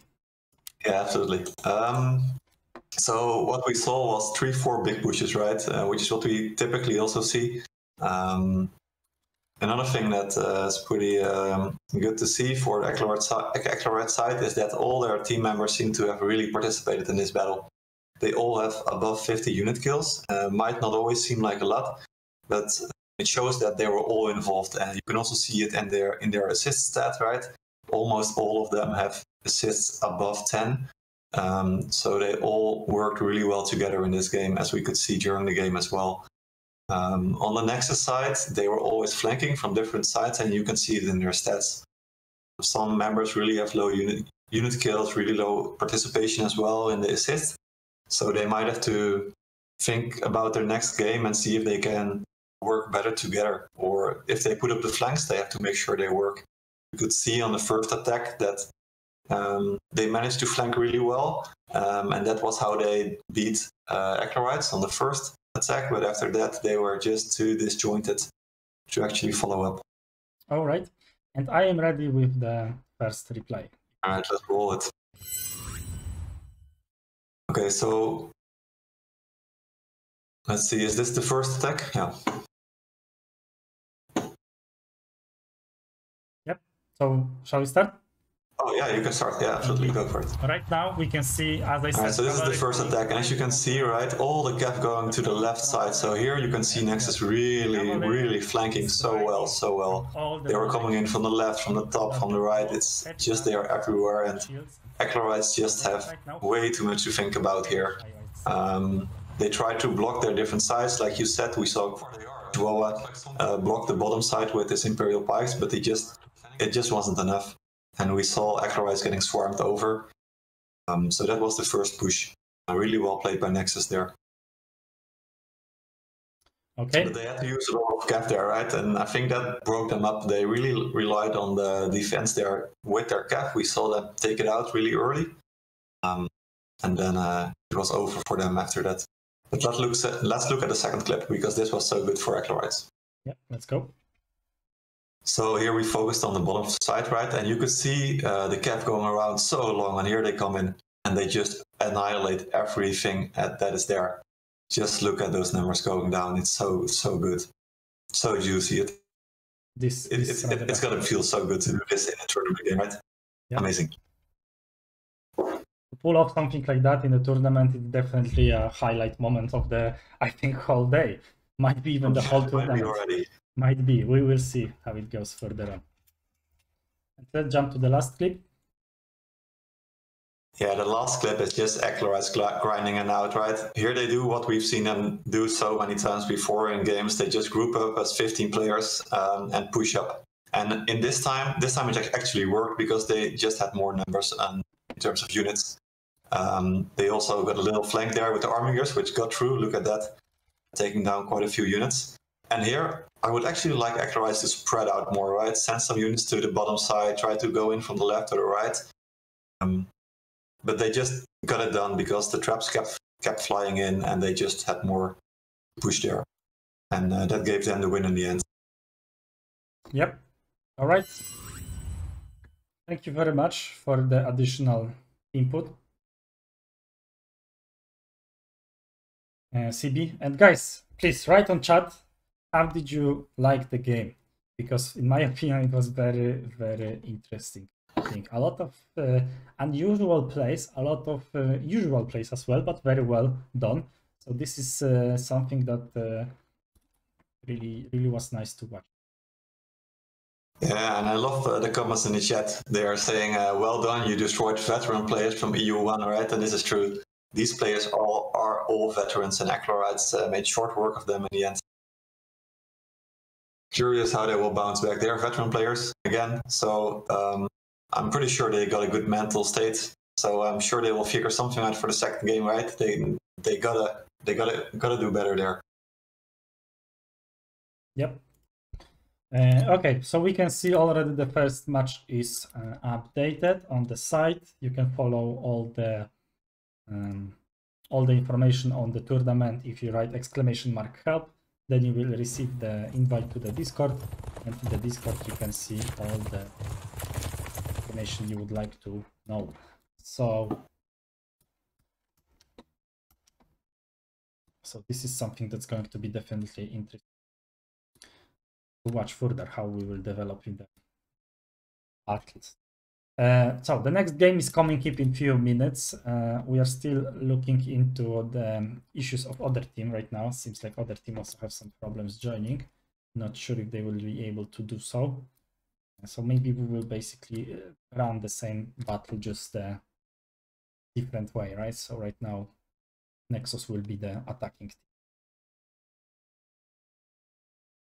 Uh, okay, so let's uh, let's talk quickly uh, about some of them, some of the also units that were used in a moment, uh, and then after after we finish, uh, after we have the clean information on who will be playing next, we will be able to talk about the next matchup and the next team. So CB, um, my highlight unit here would be actually Armigers, but from the other end. So Armigers were used quite a lot, and they were used very effectively. As we have seen on your rundown of the replays, in, in one of the actions, they were keeping that allowed Eclairides to capture the supply point and win, right? So this was definitely the, the highlight for Armigers. But in my opinion, in all other actions, all other things that happened, Armigers were used very extensively, but they were a, they were they were basically countered either by nice placement of pikes, either by some ultimates of some of the heroes, which were able to stop the charges, either by a lot of, you know, time it took for the cavalry to go behind the flank and prepare and whatnot, and during that time they were constantly being fired upon by the archers or some other ranged units, right? So many things have happened that countered the Armigers. And in my opinion, this is something that is very good highlight. That, as you can see, there are many different ways you can counter cavalry. And I mean, definitely I will rewatch this game later on fully to capture some, some things that I missed. But there is a lot of things you can take away and implement it into your strategy for territory war or when you are playing with your friends on normal sieges, how to counter it. What is your opinion, CB? Yeah, absolutely. I agree. I think um, Nexus used maybe too many Kev on the first defense, right? It, it, was successful, but like you said, so many Kev or Armigers also got caught in pikes. Maybe if they had uh, a little bit more infantry, they st- still could have flanked with three or four Armigers and also have three or four more for the other defenses. Um, because we saw how effective those flanks are. And at that supply, right, the, the second attack from Eclairides, where they got that great flank off, you could see that just two Armigers were enough to just win that win that battle for them. So uh, I'm I'm with you on this one. I think um, teams will have to be smart about using it. I mean, we've seen it that it's great, but if you do it from from the front and teams expect it, it just doesn't work. They get annihilated so quickly. So definitely, um, some other units that I uh, that stood out for me were the berserkers. Um, we haven't seen the exact stats. I, I hope some teams maybe have made screenshots uh, how many kills they got with their berserkers. But I know that Eclairides uh, used two of them on their first uh, first attack. Um, so I'm really curious how well they did. Um, we haven't seen them make a great impact, but they're one of the other units that can really flank well. Um, they have to go around a little bit as, as well, of course, but they are such a small unit. They can hide in a small corner or they can go through very small corridors and flank uh, the enemy team as well. And they, they don't need much to deal a lot of damage. Mm-hmm. Okay, guys, and I have actually good and bad news. Good news is that I know what's going to happen next. Bad news is what is going to happen next. Unfortunately, one of the teams that were uh, that should be playing today, Arrogant Ravens, their main leader had have some PC, his PC pretty much died. He's not able to join, and then they have some also some some issues with some players uh, not able to show up, so they are not there in the force. Therefore, unfortunately, officially, I guess we can say in a moment, or let's let's keep it to the end of the day to officially say it. But right now, it seems like the teams will be only two for today. So the arrogant ravens, they will be, uh, they are eliminated. Yeah, they're out, but uh, we still got two great teams, General. I mean, we saw this first match; it was so good, and we've seen Eclairides improve so much over the games that they played. Um, I hope Nexus does as well, and now they get the chance to do it in a best of three, um, which is great experience for the quarterfinals as well. Uh, as we know that both of these teams will make it out of groups currently. Um, way quicker than, of course, than we expected and maybe hoped for. Um, but what a great chance to see how well they do because suddenly this is a best of three and that is a different dynamic as well. Definitely. So right now uh, we are talking still uh, about uh, how we should do this. Uh, seems like there will be one more match, of course, which is planned right now. So the two both both teams same map, different sides.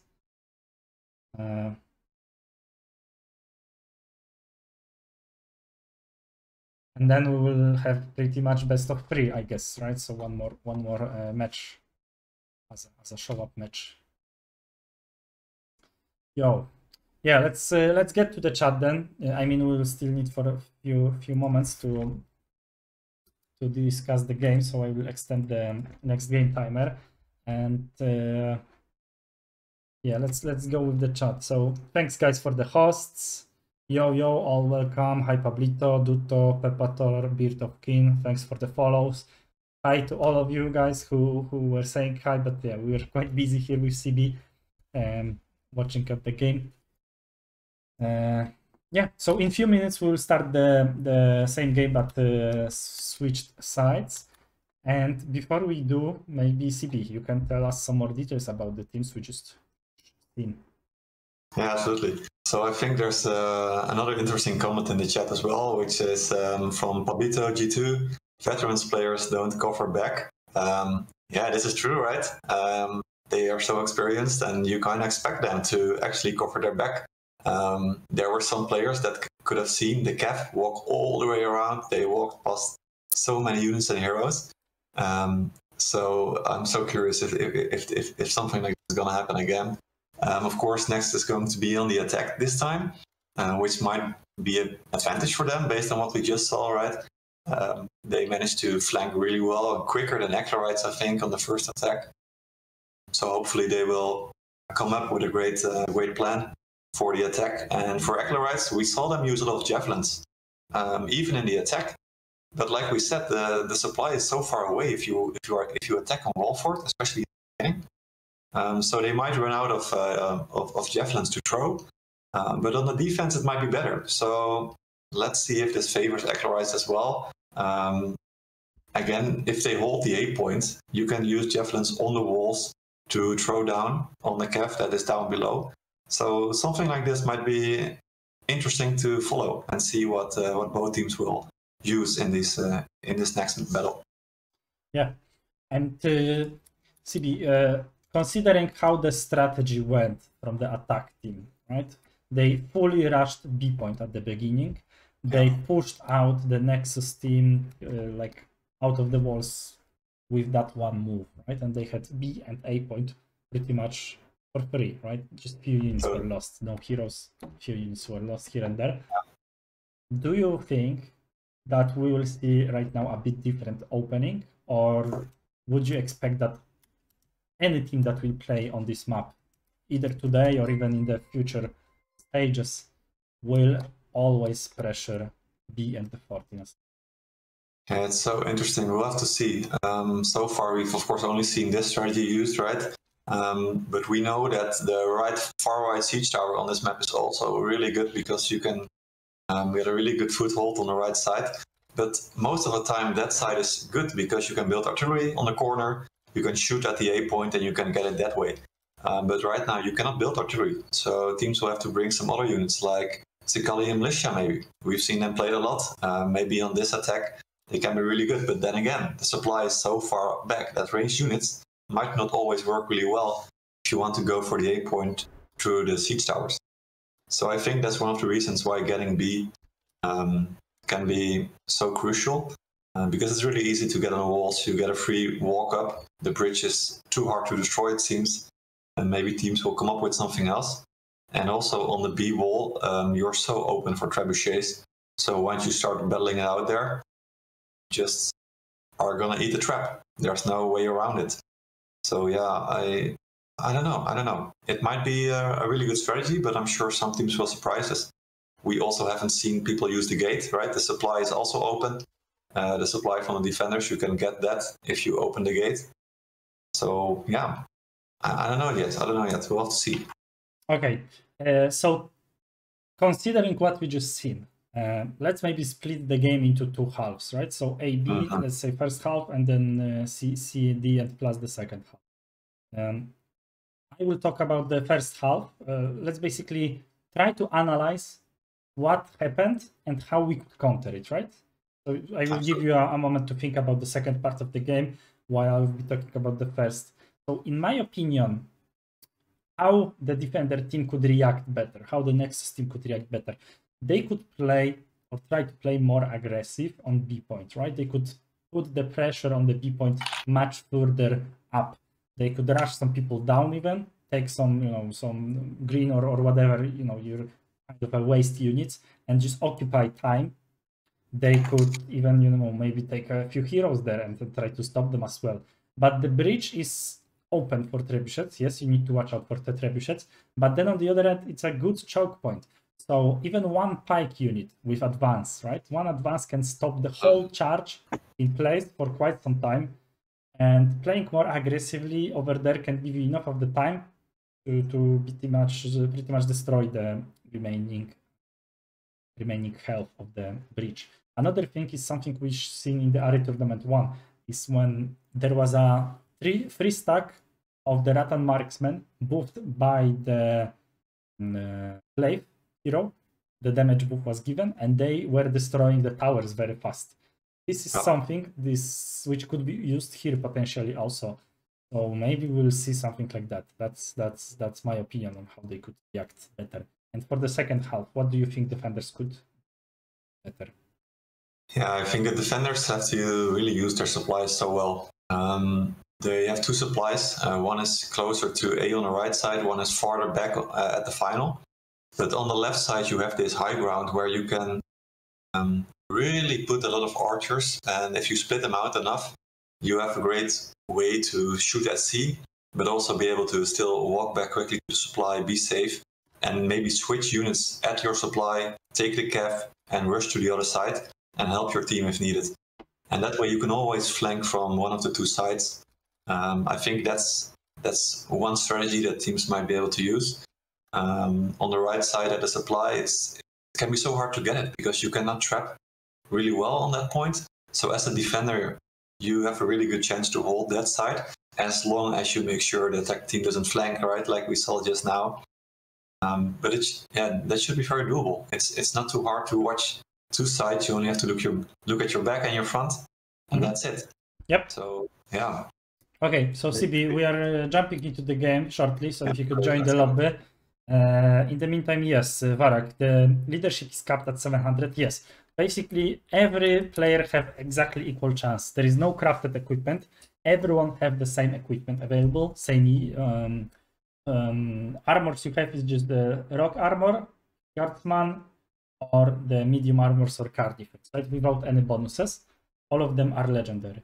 For the units, you have the purple schematic weapons, right? So uh, Arb- Arbiter for the musket, for example, right? For the spear, you have Dragon Hunter. So no bonuses at all. Everyone have exactly same uh, same equipment. Then there is no runes, there is no doctrines. Every unit is maxed level out, right? So basically that's that's equal as well. Every player have only three horses available. They are the uh, Sirocco, uh, I believe was the name. Sirocco, yes, Sirocco, the, the blue horses with uh, blue armor.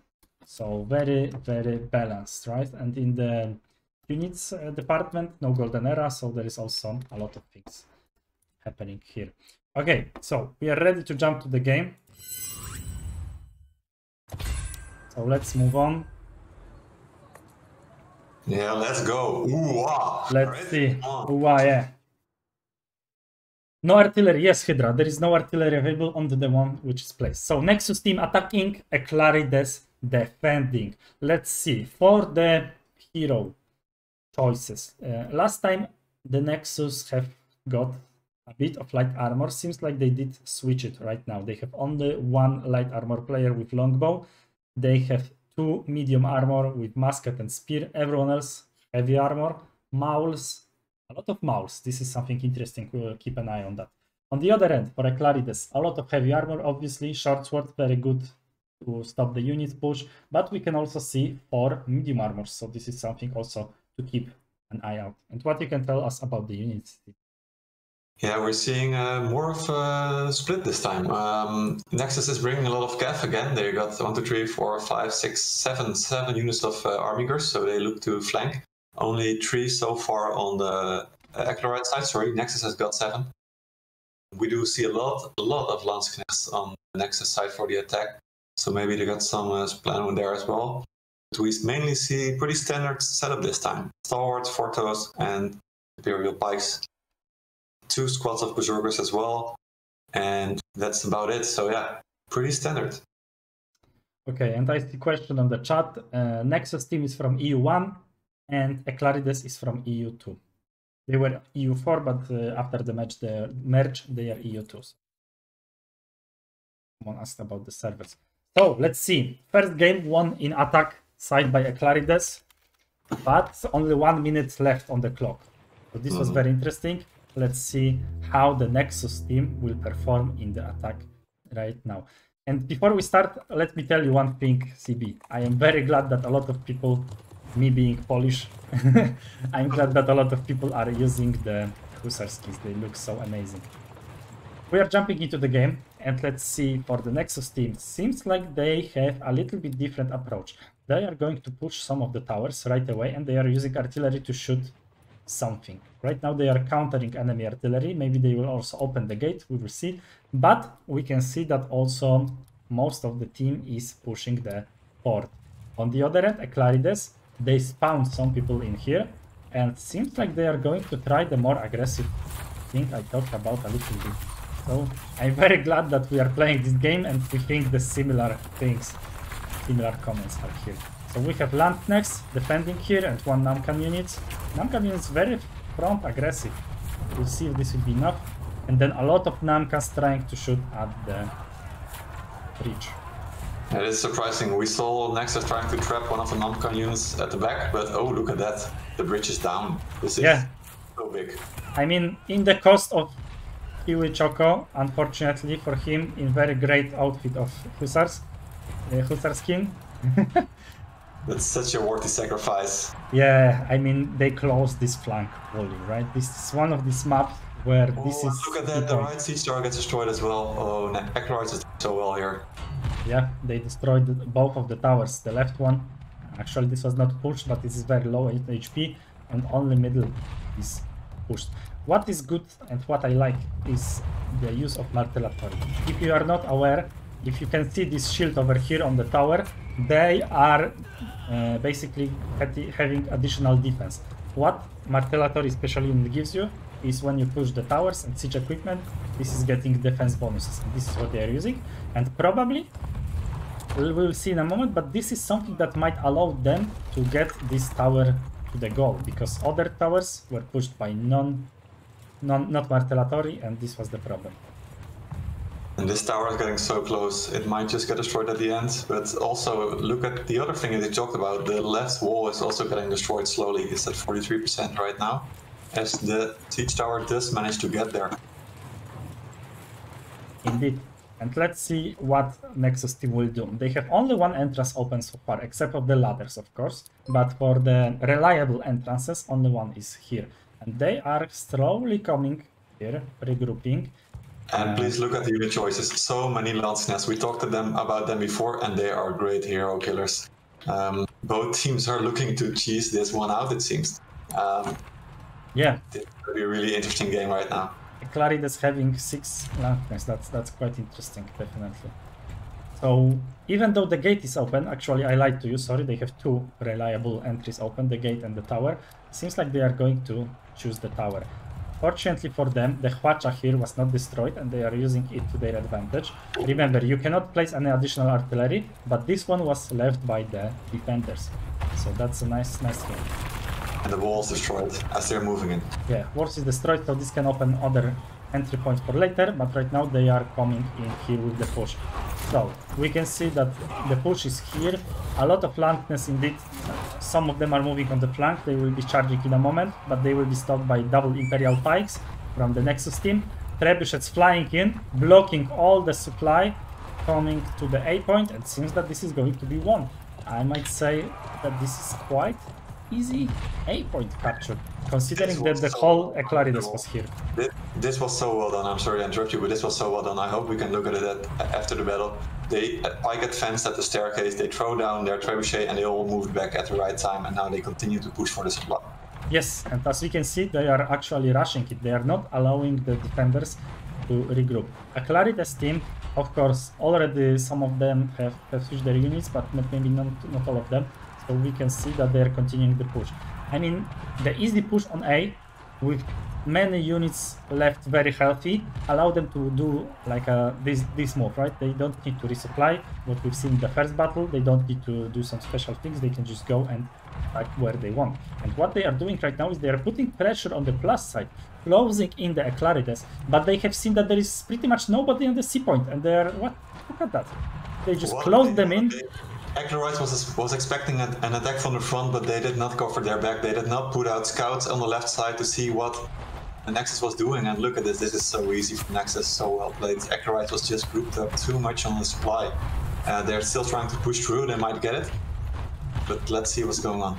Yeah, the trebuchet zoomed in was actually quite crucial. Unfortunately, it was too late to stop the Eclairides team coming away.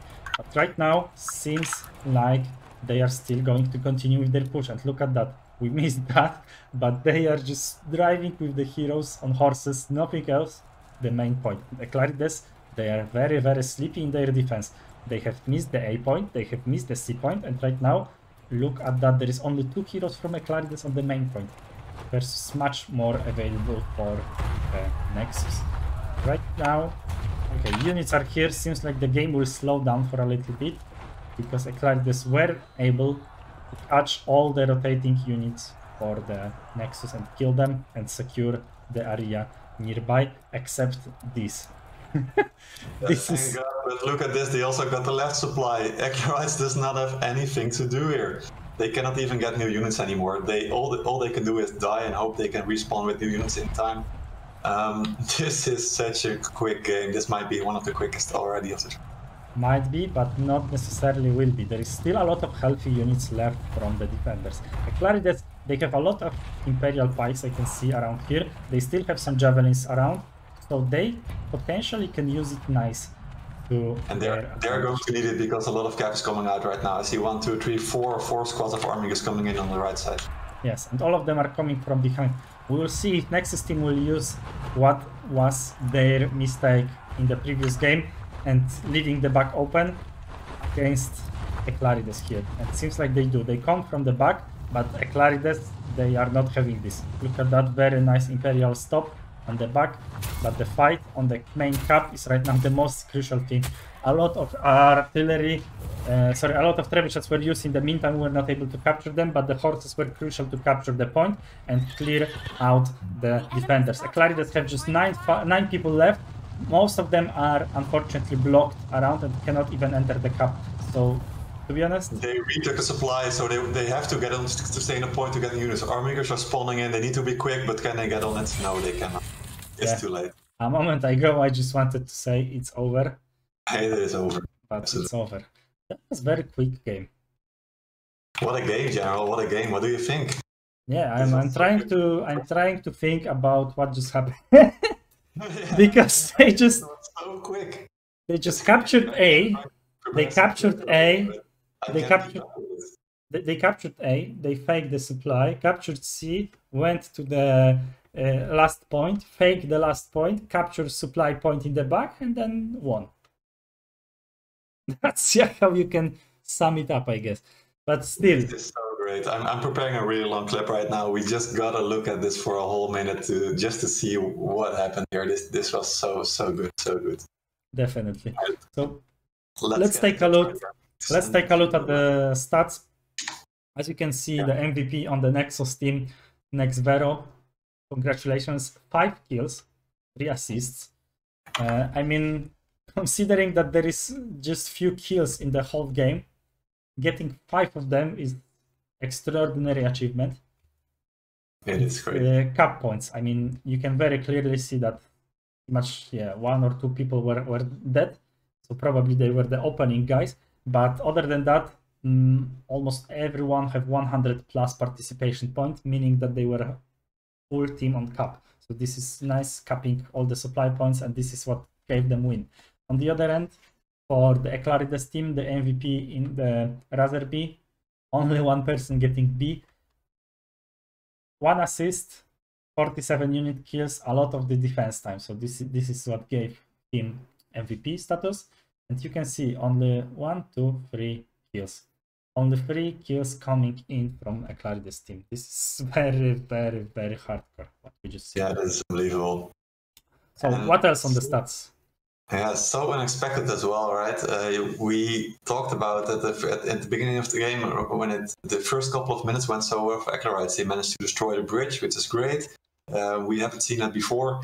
Uh, then they also destroyed a couple of siege towers, but that one siege tower that hit, it just took them by surprise. Maybe uh, they just were, weren't ready for the attack on A. It, it just took one pike advance in a trap, and of course the whole of Nexus, and they got it.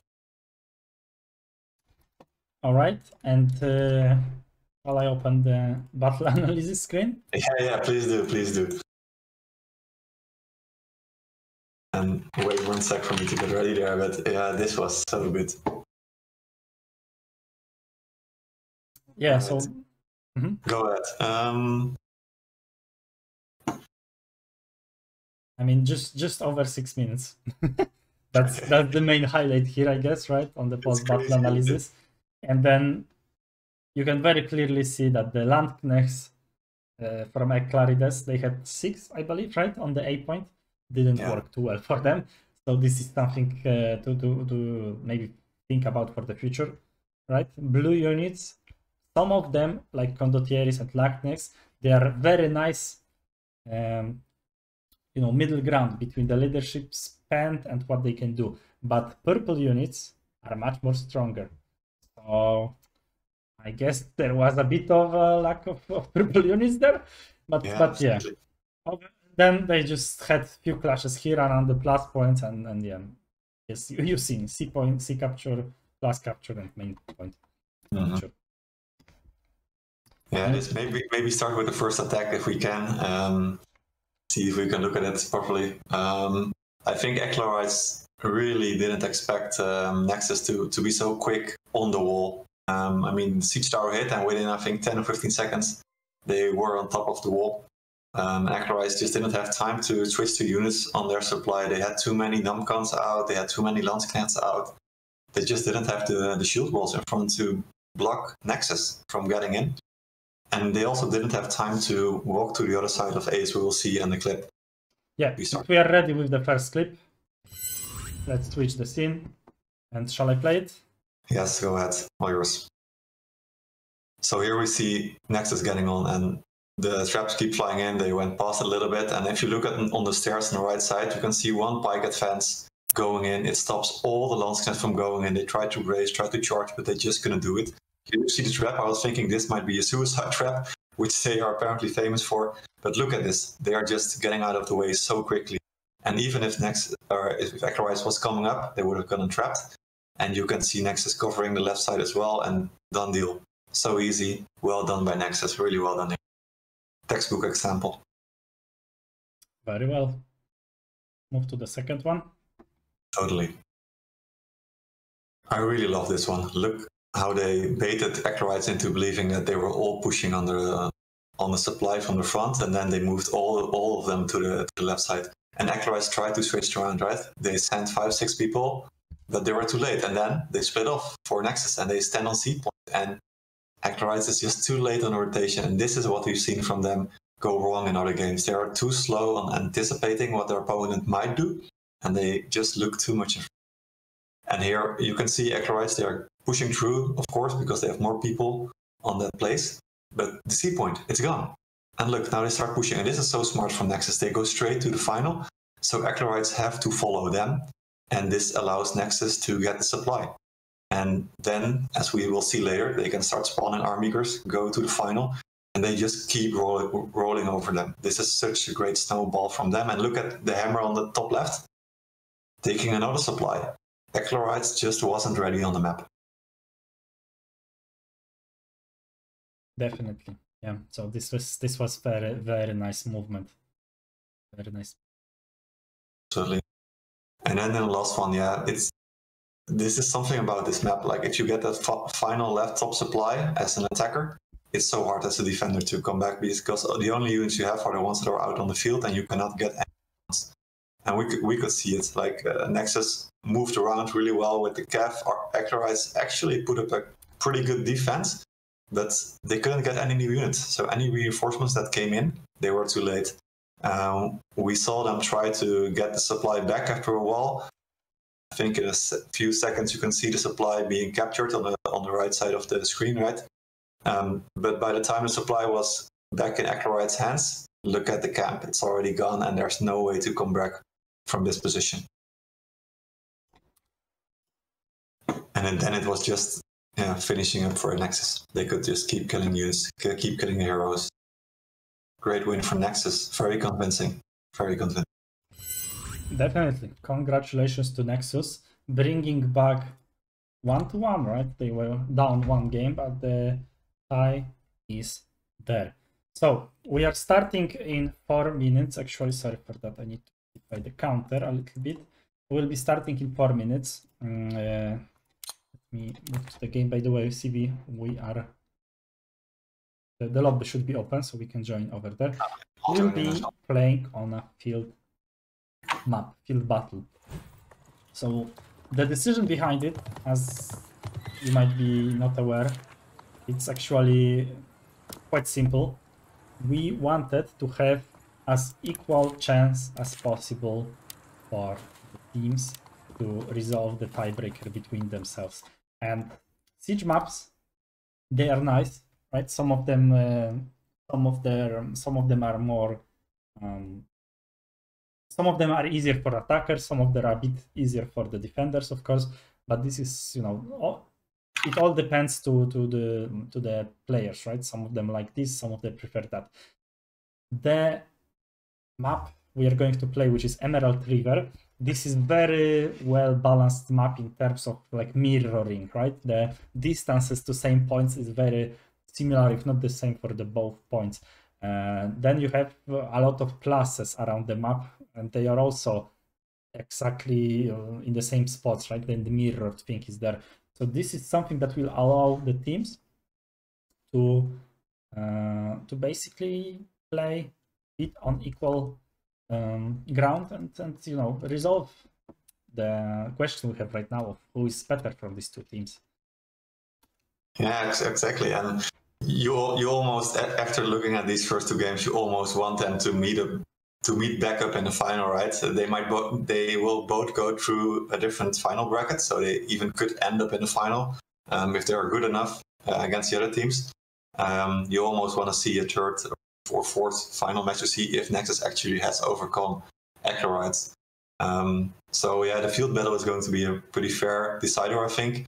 Um, if I look at the comments in the chat, people really enjoying the tournament so far. Thank you for sticking with us And the after the, the delay. I think the first two matches have really delivered so far. It's been absolutely amazing. Thanks for the comments as well. Um, and yeah, it's been it's, it's been so much fun for us as well. Yeah, and we'll be starting very short in about minute and a half. So let's focus on the next match. Um, seeing what you have seen right now, CB, what do you think will be the one one highlight? What we should expect? And I will yeah. I will test you on that one if you are yeah, right. Totally. Like so so what I think is the has been the main decider in these first two games is how quick teams rotate, right? This this game is all about timing. How quick can you be ready for the other team? Or how quick can you surprise the other team? And I think we've seen Nexus in this last game do that so much better than, than Eclairides. They were quicker on the rotation. They were two or three steps ahead of them. Um, and in a field battle, you have to be so quick. So I would give the favor to Nexus right now, currently. What about you? What do you think, Nick? Um, to be honest, the field maps, I think the, the key thing from my perspective to understand for the teams would be the key advice if I were to give any is to think differently, right? Mm-hmm. Very rarely play field battles on, on, standard games. On the territory war, definitely much much uh, more often, but this this map is, is not common.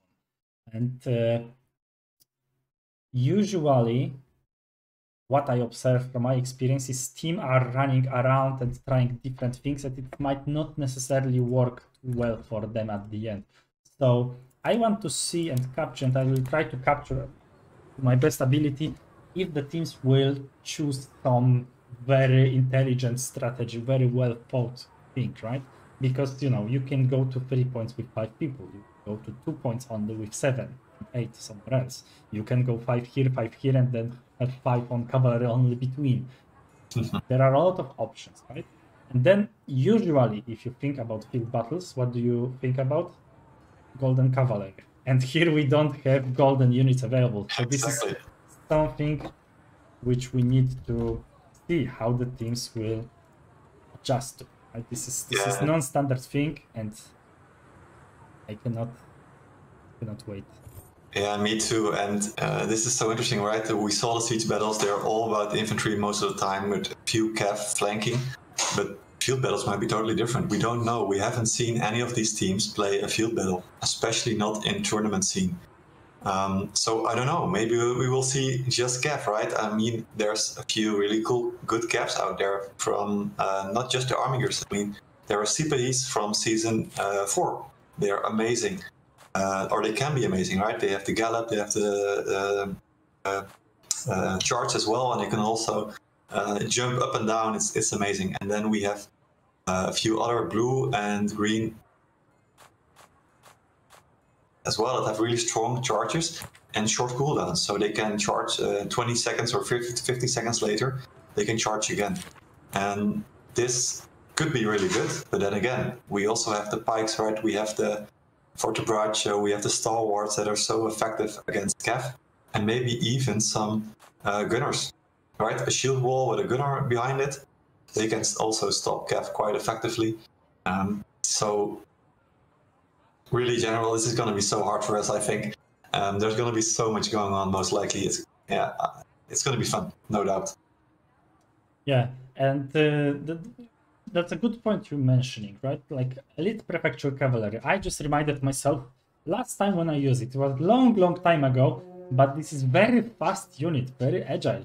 You can very nicely flank it flank with it, right? So we shall see if, if this will come to the to true. And right now we are ready to go to the game. Nexus versus Eclairides, the tiebreaker on Emerald River. If you are aware of this map, uh, good. If not, let me give you a quick highlight. There are two main camps here and here, and then there are three points. B point, which is equally on the same side, like in the middle, and then you have C point, which is closer to the blue team, and A point, which is closer to the red team. You have few crossings. These three main ones can be crossed by cavalry, and then you have the small crossings, which are uh, infantry only. No, they are also cavalry, I think, accessible, right? But there are stairs. There are several stairs because the map is very different in the height and so on. And there are places where cavalry cannot go. But this is enough of the map. Let's talk about the heroes and units, CB. Yeah, for units, uh, I think the heroes are pretty much the same as what we've seen before. Um, uh, just a few glaives and spears sprinkled in between there. Not so much light armor anymore. Uh, for the units, uh, we see that Eclairides has few players with um, two cav, but mostly just one. So we still see a lot of uh, infantry. Same for Nexus, but they do have um, quite a few Landsknechts more than on the other side. I think there's also Halberdier Sergeants. This is the first time we, we will see that unit. Um, they can be really effective against um, not T5 cav, let's say, and maybe not Armigers. Um, Yeah. But they have good brace. They also have a decent charge, um, but they are sometimes a bit clunky to use. Yeah. So yeah. And I've seen here or there uh, some blue cavalry as well. I wonder if this will be Salanchit cavalry, which can use either swords or they are mainly sword cavalry, but they can also effectively use bows. But there is also Korchins, which is full. Oh my god, this is going to be so hardcore to watch. This is going to be crazy. The fog. The fog is hardcore. Okay, let's focus on the game. B point, not really contested. We can see the teams have spawned pretty much half, half here, half here. We can see that the Nexus team, uh, sorry, this is Eclairides. Uh, so the Eclairides, I need to quickly switch it. It's ten from Eclairides on the on the A point and five from um, Nexus on the A on, on the A point, and on the other side it's the opposite. And there's only one player from Nexus going for B. So B is uncontested, and then we have ten versus five on the C point, advantage of Nexus, and the A point is advantage for Eclairides. Yeah, so this is good highlight. B point for free, very nice. And here, Yeah, so the defense, infantry defense from the, the Clarides is coming. The cavalry charges are coming from different sides, but they are stopped. One advance, second advance, very nice. And then in the middle, we can see also shields stopping a lot of units. So this is very nice defense. Considering there were only five of them against much more enemies, I think they are doing good. Yeah, and over on the A point, it's actually going pretty hard, I think. Um, they still do not have captured it. Uh, C point is getting captured back, that is good. Um, A point is, is safe right now. Uh, B point still uncontested, of course. Um, Smogmore is still walking around it. He got it and he wants to keep it. Yeah, and C point, I guess the, it's case closed, right? They they killed the, the enemy with much more forces, and uh, that's what allowed the Nexus team to, to take a, a win here. And we can see both teams uh, doing the same thing. They're capturing the supply that's closest to their objective, and they are. It seems to be that they are going for the main main camp. Uh, this might be a race, uh, General. Yeah, if you are not aware, conquest point conquest works like that. You need to capture two points, uh, either CB or, or BA or whatever, and then the main camp is unlocked. Over here you can see the timer, right? So the main camp can be captured, and on the top you can see the percentage. Whoever has the uh, most percentage at the end wins. So we can see very good pressure from both teams on the main points, but we need to see who will be faster. It's very hard to stream two sides Yeah, right this now. is going so quickly. Um, I feel like uh, Nexus is losing out right now. They are losing uh, people, but look at that. Matchin is going down. Next series is going down. It's one by Yeah. one, but Nexus is down. First points coming out from Nexus. Coming down. There is one last player, yeah? And they are capturing. So they are capturing right now the point. If no one else from Nexus team will be able to spawn and come here, this is done for the Nexus. They are trying to move and block the spawn points. This is very good idea, but will they have enough people? The spawn point here have four ways you can go out, so I don't think they will be able to fully block it. But right now they are winning the game with capture. 30% left. Those respawn part times need to come in quickly right now. Um, of course, um, Taking our base. the, the respawns will be so strong because Eclairides units have been low, down, or dead. So it might still be possible for Nexus to take it back, has to be so quick. Yep, and we can see that they are blocking the point. And this is the key thing that happened. You can see the timer have run out. They don't have two points anymore. They cannot capture, so the, it is locked. And this is something that might hurt them in the long run. Eclairides team losing that and they are also losing a point. This is going to be problematic right now. If you have triple cap, the points will also go down. So if they will be able to capture A now, they will be bleeding the points from the Nexus. So, sorry, from the Eclairides. So let's see if they will be able to do it. Longbow fighting 1v1 versus Spear with just two or three units. And Yeah, he's low. HP, he had to run away. Yep, but the B point is right now contested back, so this is good. They have done the B point. No one is on it yet. It's very hard to cast. A lot of things are happening, guys. And Uh, this is so much going on, but they're capping again on the points for this. Yeah. So key highlight right now to make Nexus 5% only left. They really need to keep someone in defense. And there is no one in the point right now. Oh my god, the units. Last second unit push from the Pike Militia. Out of all the units, Pike Militia stopping the capture here. Nice. They killed them, they cleared it. They really need to keep someone on the point constantly. That's one thing. And another thing is they cannot lose three points. They need to have one point at least available to not lose the cup. So Nexus team is right now doing a quite good job on that. Yeah, they're doing great. They got back A. Um, they oh, but they're losing C again. But someone is going there. Someone is going C as well. Yeah, so A point is cleared. Let's take a look uh, at the statistics because you have three lives only here as well. Yeah, true that. Let's see. Oh, this is so quick. Uh, let's see. So we got Machin down on Eclairides actually. That's the MVP down. This is that might be major, right? Uh, we've seen Eclairides depend on him for so many games, and he's out already. Um, might be intentional. Who knows? Um, furthermore, uh, unit kills. Let's see. It's pretty equal, pretty close. As more kills are coming in, Belanda also down. The other MVP for Aclarites, as we see that point B is being kept by Nexus once more but they're still at risk. They are still only at 5%. This game is so close, man. And B point is captured right now by, by Nexus. They did a very good push. Even though Eclairides team tried to defend, they were not able to come with their units fast enough. So this is what I said in the beginning, before the match. A lot of ground to cover. Infantry is nice, but it's slow. That's the problem. And we can see B point, there is a lot of fight going on, and C is going to be almost captured. Look at that Nexus having B and A secured. They are trying to go with 3 and trying to do the triple cap. Almost got it, but yeah, Eclairides were able to spawn in the last second and they are going to clear them out. Another unit's coming in, so they are definitely going to even ensure that the C point is not lost, and this is going to be a good thing. Only 5 minutes left. Thing to watch out as well, because might be that the time will decide. Yeah, might be. Uh, looks like Nexus is having a really strong foothold on the center right now. They also have the eight point secure. So Nexus is in a pretty good place right now. Um, if they can get the supply between B and C, they can also start pushing for C maybe. But of course, they have to make sure that no one gets behind them because if someone gets in a camp and can cap it, then we know it's only 5%. Yeah, and right now on the stats screen you can see that a lot of teams, uh, a lot of people have died fully and have no more response. So is, uh, Yeah, we just got one more from Nexus. Uh, so three people on Nexus side are down for good, and two on the Eclairide side so far.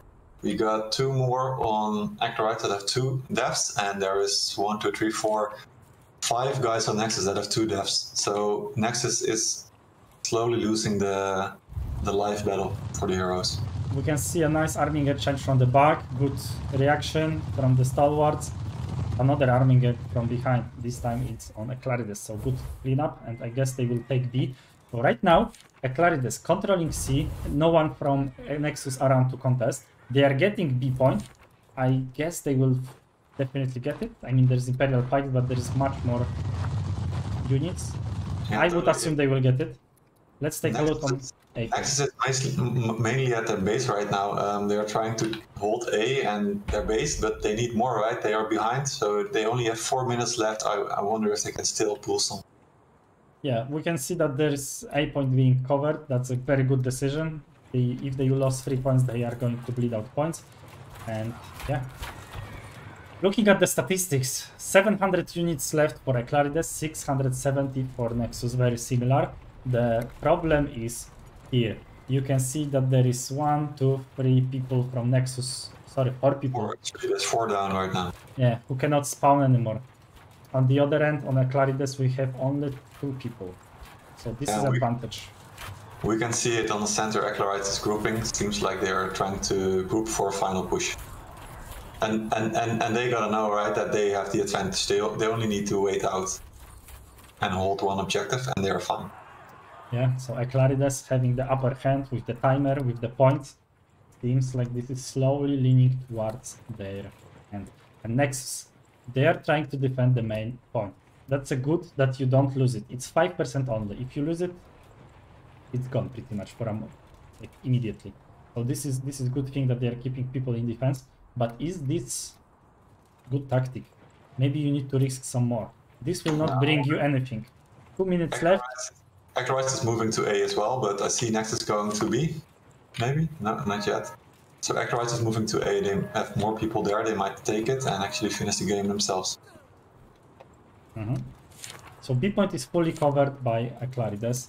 C point, we can see two po- two people from the Nexus trying to flank, but Eclairides is responding, and the main fight will decide right now here what will happen. We can see good rotation from Eclairides. They read very well what is happening, and they reacted even better. Right now, three people left only here from Nexus, and I don't see too many units. So this might be the nail to the coffin, not capturing this point. Yeah, we see Nexus making a des- desperate attempt for the B point. They're pushing with three on two there, uh, so they might get it back, but it might not time at all. Um, at C point, I see units going there. Oh, they're capturing C. They might Yep, be just. They have triple cap, and this is over. three, What we two, said. one. Bob. Well done. Eclairides, surprising win for me. So well done by them. Very well played. Very well played. I mean, first of all, sorry guys for casting this. It's first time like that. With the weather, it was hardcore. But I hope, yeah, I hope it was good, good enough. so let's move to the statistics right now for the MVPs.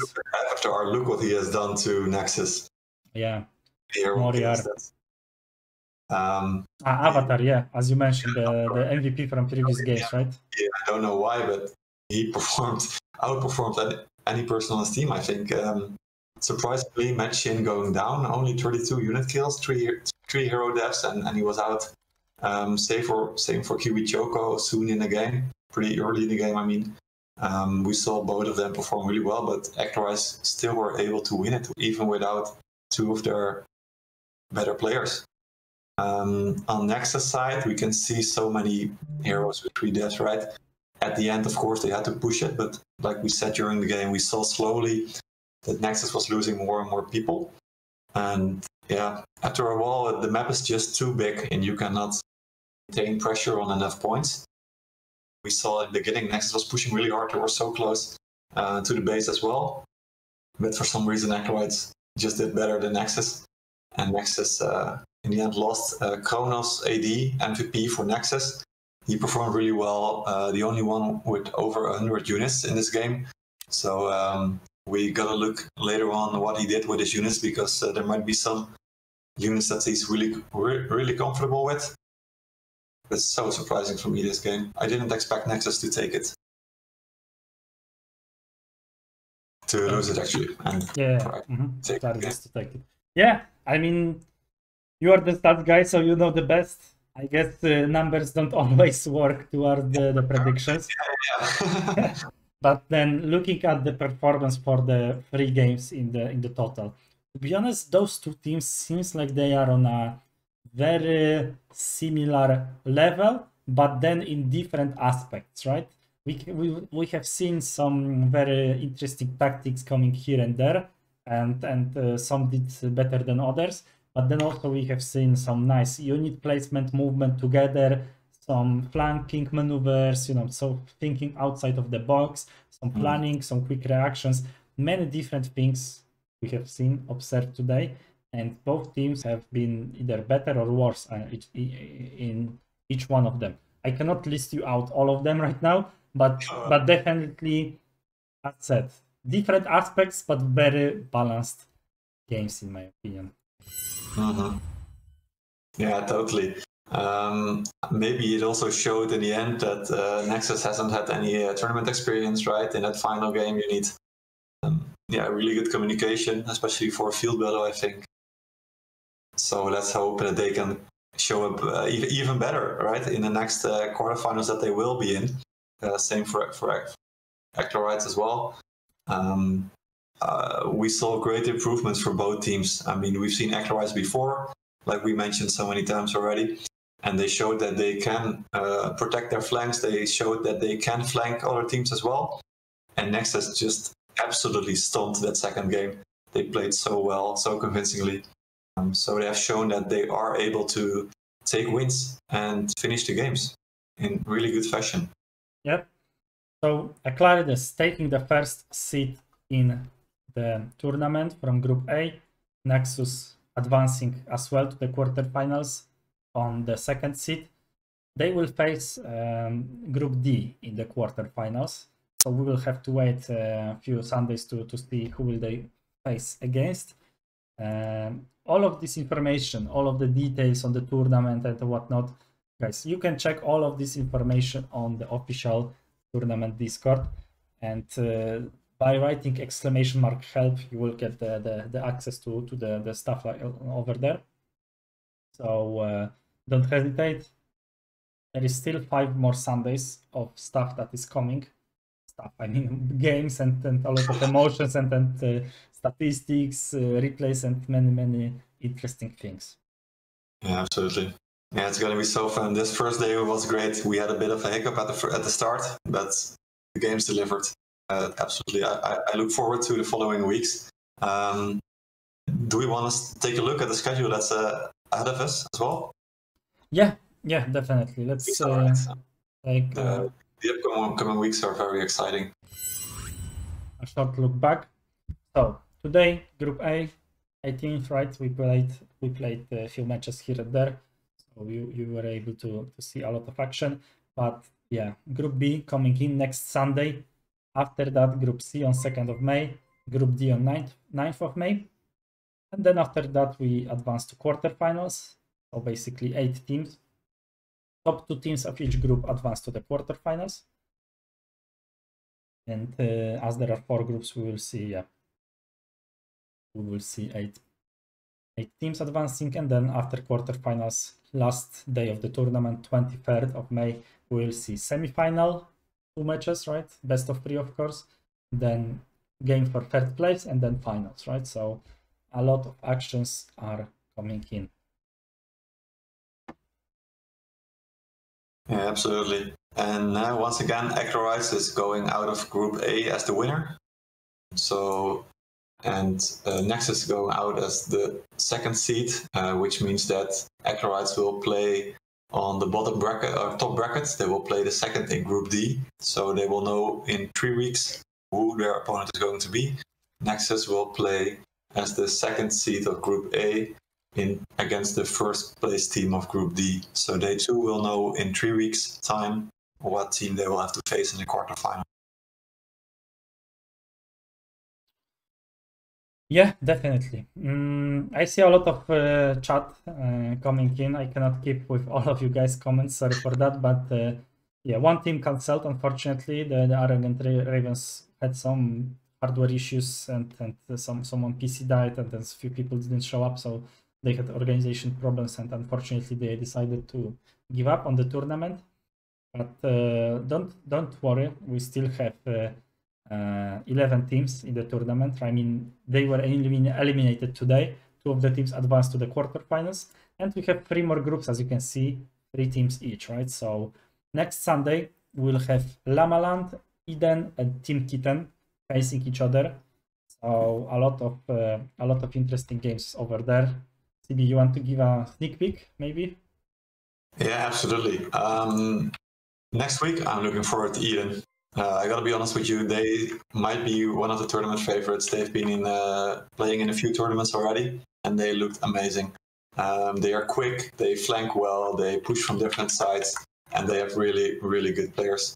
Um, so definitely the team to look out for in that group, I think. Um, but also Team Kitten and the Lamaland, um, they are great teams as well, right? I mean, we don't have any bad teams, I would say. We have really good teams and good teams. Um, but we know most about uh, Eden for now. Um, we haven't seen Lamaland and Kittens at any tournament, so it's going to be new for them.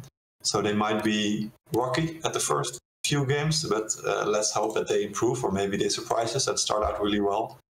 Uh, but for Eden, um, yeah, definitely the, the most hyped team in this group for sure. Okay, I mean, yeah, I, I cannot wait. We already seen some of the, the teams as you mentioned, right, playing in the Aritournament one. I have I, I had the opportunity to cast some of their games as well. So Yeah. definitely interesting stuff. Uh, yeah, we shall see. We shall see what what it will bring to us. Yeah, as you can see, my dog just woke up from the, from the sleep. That fortunately enough, he was not bugging me during the, the games. That's a good thing. And right now we are waiting for a final confirmation on the on one more thing because maybe we will have some additional present for you guys. Let's say some special thing. Uh, we are we are trying to talk through the remaining waiting time. Will do, will do. Um, I didn't manage to get any clips of this battle, as you can imagine, it was so chaotic. Um, so unfortunately, we can't show any clips if any of you were, were wondering. Um, we did also record my second screen, so maybe next week we can show you some of the highlights of the field battle. Look at that, and we can also, ma- yeah, just maybe about the field battle, general. What did you notice was working in the end for for, for teams? Uh, yeah, the, the lobby is open by the way, CB. So so hop in. Uh, for the field battle. I mean, uh, when we discussed how to uh, tackle the tiebreakers, right? How to um, how to do them, uh, how to you know resolve the, the ties. Uh, we came up with this conclusion of, of, of this map, and I was like, yeah, great, you know, equal map, mirrored map, equal opportunities for these both teams, great. Mhm. I've never in my life expected to see so much action and teams taking it so seriously, really preparing a lot of, uh, you know, preparing a lot of tactics, a lot of uh, uh, unstandard ways of tackling, uh, tackling this point or that point, moving around and so on and so forth. So, yeah, uh, like seeing just this one tiebreaker, I like. I'm, I'm silently hoping that there will be more in the next groups. Yeah, totally. Let's hope for a three-way tie somewhere in a group. That's going to be so exciting. Um, if it does happen, we might have to figure out a way to split our screen, right? So we have uh, A and C point at the same time showing, uh, because th- there's so much going on. Uh, I was surprised as well. Um, and yeah, you could, you could see the map is so big, right?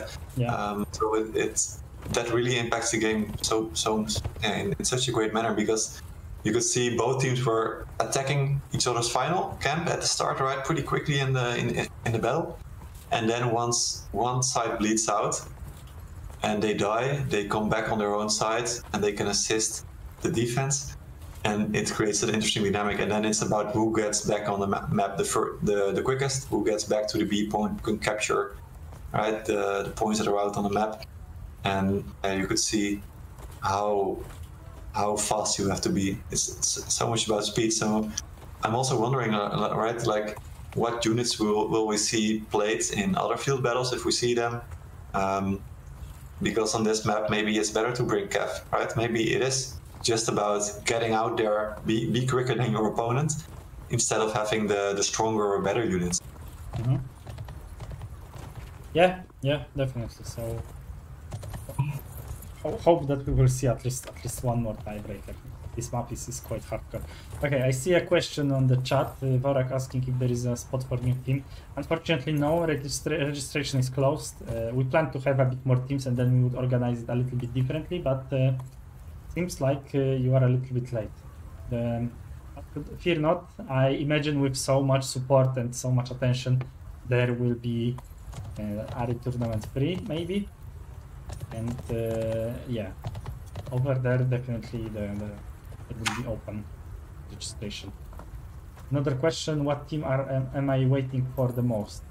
I mean, personally, I don't have any any team that I'm looking out the most towards to. Uh, the only thing which which triggers me uh, like these emotions is uh, my server, right? So I play in EU2, and uh, yeah, the EU2 teams I know uh, most of them. I play with them, against them on sieges, on territory war, and so on. So seeing EU2 team gives me or brings me this this additional you know connection or whatnot. And, uh, yeah. And CB, how about you? Out of all the Yeah. 12 teams, do you have Yeah. any team you're waiting for? So I was absolutely looking for Nexus today, right? Um, they impressed me in one game. I, I really love that. Um, I hope to see more from them, uh, totally, because uh, like you said, they're from EU1. We only have one EU1 as well. Um, so I love that. But I also like um, Potguard. Um, they love to play Cav so much. Um, they sally out quite often, or they even defend cities with just Cav and just giving up the wall for free. Um, I just love that. It's something that we do with our house as well, so often in siege battles, to the frustration of many maybe. Um, but it's such a fun playstyle. Sometimes you don't want to see it every game, but um, definitely exciting to, to look at and see how teams adapt to a team that has such a specific flavor to them, playing or relying on Cav so much. And we Okay. see them in the third week, I think, right? It's Okay, Yeah, Pontguard in Group C versus Engegner and Russian Village Boys. yep. Yeah. Okay. Uh, Song Surfer, why is CB's co-streaming with you? Uh, why not? I mean, uh, I guess uh, having co-caster is definitely 10 steps higher, right, from the previous Aritournament. I mean, I will be uploading the uh, the recording from from today, right, to the YouTube, so you can watch, of course, in the history channel on the on the channel you have the the Aritournament one. You can watch there, right, how it went, and just comparing the quality of, of everything to today is like ten times better in my opinion. So that's why, right? So for your pleasure, for your viewing pleasure, that's why it is. is. Uh, okay. Oh, yeah, sorry, go ahead. Yeah, it's great to be here, right? Uh, I absolutely love it. Um, most people don't know me, of course. Uh, like I said, I only started season four, um, playing with a small house. Uh, I'm, I'm not streaming anything currently. I'm not sure if I will, but yeah, I hope this uh, this stream has delivered for you, and I hope uh, everybody enjoyed the games. Sure. Uh, yeah, so I'm posting the. Someone asked about the tournament's link uh, bracket. I'm posting it up. Uh, but remember, exclamation mark help. You can check everything over there. And right now we have three more things that are going to happen today. So we have uh, actually one of the guys from the Nexus waiting for the interview. So we'll have one interview, then we will have a deathmatch just for fun, and at the end we'll have another interview with uh, Clarides team. So that's left in the in the schedule. So let me invite other casters here, and we can talk a little bit. Okay, so hello to the caster team. Hello. So we can talk a little bit at the end, I guess, but for now let's move in Shorty from the next. Yeah, sure, let's go down. Sure. Hi Shorty, Hi, how are you doing? I'm fine. And you? Good. Ah, good as well, I guess. So, welcome. Congratulations on your amazing games. Of course, Shorty representing the Nexus team, if you are not aware.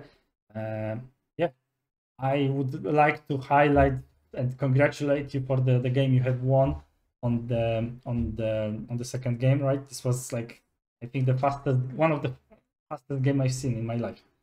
Yeah, we're, we're we're pretty strong in attacking. We all, I think, I can speak for all of us. We hate defending. In attack, this our souls are working for for attacking. Definitely. Uh, Okay. and game was insane. Yeah, quite quite good team play. Uh, but the def- defense was was really re- really really good. But yeah, we had a bit uh, the advantage of blocking them from the supply. It was nice. Okay. So could you tell me a little bit more about uh, you coming into the tournament? Like, uh, did you train specifically for the maps? And what we have seen today was a more of a, uh hot uh, thinking of your uh, shotcaller and you know adjusting, or did you had something like that planned? Oh, the planning was, uh, uh, if, I'm, if I'm real, uh, planning was disgusting. We we made nothing. It we just went in. We had really problems with the IDs and everything. We had one training with seven or eight people's running, but it was quite funny. And uh, yeah, I think next next week we make a lot more trainings, and I think we start seeing that a bit more competitive for the future. Yeah. So of course, uh, still taking second place gives you uh, advance to the quarterfinals. So we will we, we will meet there in a couple of weeks. So you have some time to prepare. Yeah. Yeah, totally. So we absolutely absolutely loved your second game, right? Um, what did you think of Eclairide as your opponent in the second game? How, how do you feel they, they performed there? Oh, pretty strong. The the thing is about this map, uh, it's uh, if you don't get B so fast, just just try to push on the right or mid. Uh, the most time, it's it's pretty decent working to just block them from the supply or something. And uh, if you have the advantage and nobody's on the endpoint, just run for it. The same if you get A, just try to insta get C. And yeah, I think yeah uh, we didn't plan this in this so, so far, but yeah, it was a quite nice idea we had short before the, we we saw the supply was hard defended. Yeah, Yeah, absolutely. And something we noticed was uh, you played a lot of Cav on the defense, and then on the on the attack you you brought in a lot of Cav at the end as well. Um, uh, the, the Armigers, of course, this time. Uh, we felt like maybe at the at the first uh, defense you were playing uh, maybe a bit too many Cav or too many at once. What, what do you think about it? yeah, that's true. We played a bit too much, Cav. We uh, uh, from the unit planning we were a bit not so good, but in the second game then we planned it a bit better. And yeah, Cav Cav is, is not so good in the actual meta. Uh, but yeah, it's quite decent for flanking and some some some stuff. And yeah, uh, for the next for the next games, we, we will be better prepared for this and don't have too much Cav, hopefully. Okay, thank you. And for the last question from the English casters, uh, I wanted to ask is um, cons- considering the organization of the tournament, so the the map, uh, you know, being randomly chosen and the tiebreaker with this map, uh, do you feel like it's, it's it's working fine for you? Do you like it? Uh, yeah, the random map is is quite okay for us. Uh, um, the, the map today was not our fa- favorite map, but quite okay. Uh, uh, we we like the organization and uh, yeah, tiebreaker. Yeah, it, it was quite hard and it's it's quite okay. We we like it and Thomas is really fun. We had a lot of fun today. Cool. Okay. Do we have any mention, other questions from other casters? No, I, I just want to say that that second game that you guys did, that was the fastest game I ever saw in a tournament in my life. Wait for the ever. future. Wait for the future. nice, nice. Perfect. That's Nice. perfect. Yeah, Okay. Congratulations, man. Congratulations then for advancing towards the, the quarterfinals. See you in a few weeks and uh, yeah, good luck in the future games. Thank you. Thank you. Bye bye. Bye. Bye. Bye bye. Okay, we mute for, for one minute and then come back. Uh, Ari, Yes. we, we do that match first and then. Uh, no, no, we don't do. But um, Ah, okay. we, we we we talk about that with Hamcrow when Okay. he joins soon. She done that. Yeah, yeah, he's done that. Um, just one minute. Uh, yeah, okay, guys. So we will be doing the interview with the winners, with the Clarides team in a moment as well, a short one. If you have any questions you really want to know from the chat, feel free. If we will not use it right now, maybe maybe they will be asked in the further stages because the Clarides team, of course, also advances forward. So if you want to know something about the Clarides, the first place winner from the Group A today, leave some questions. Chat.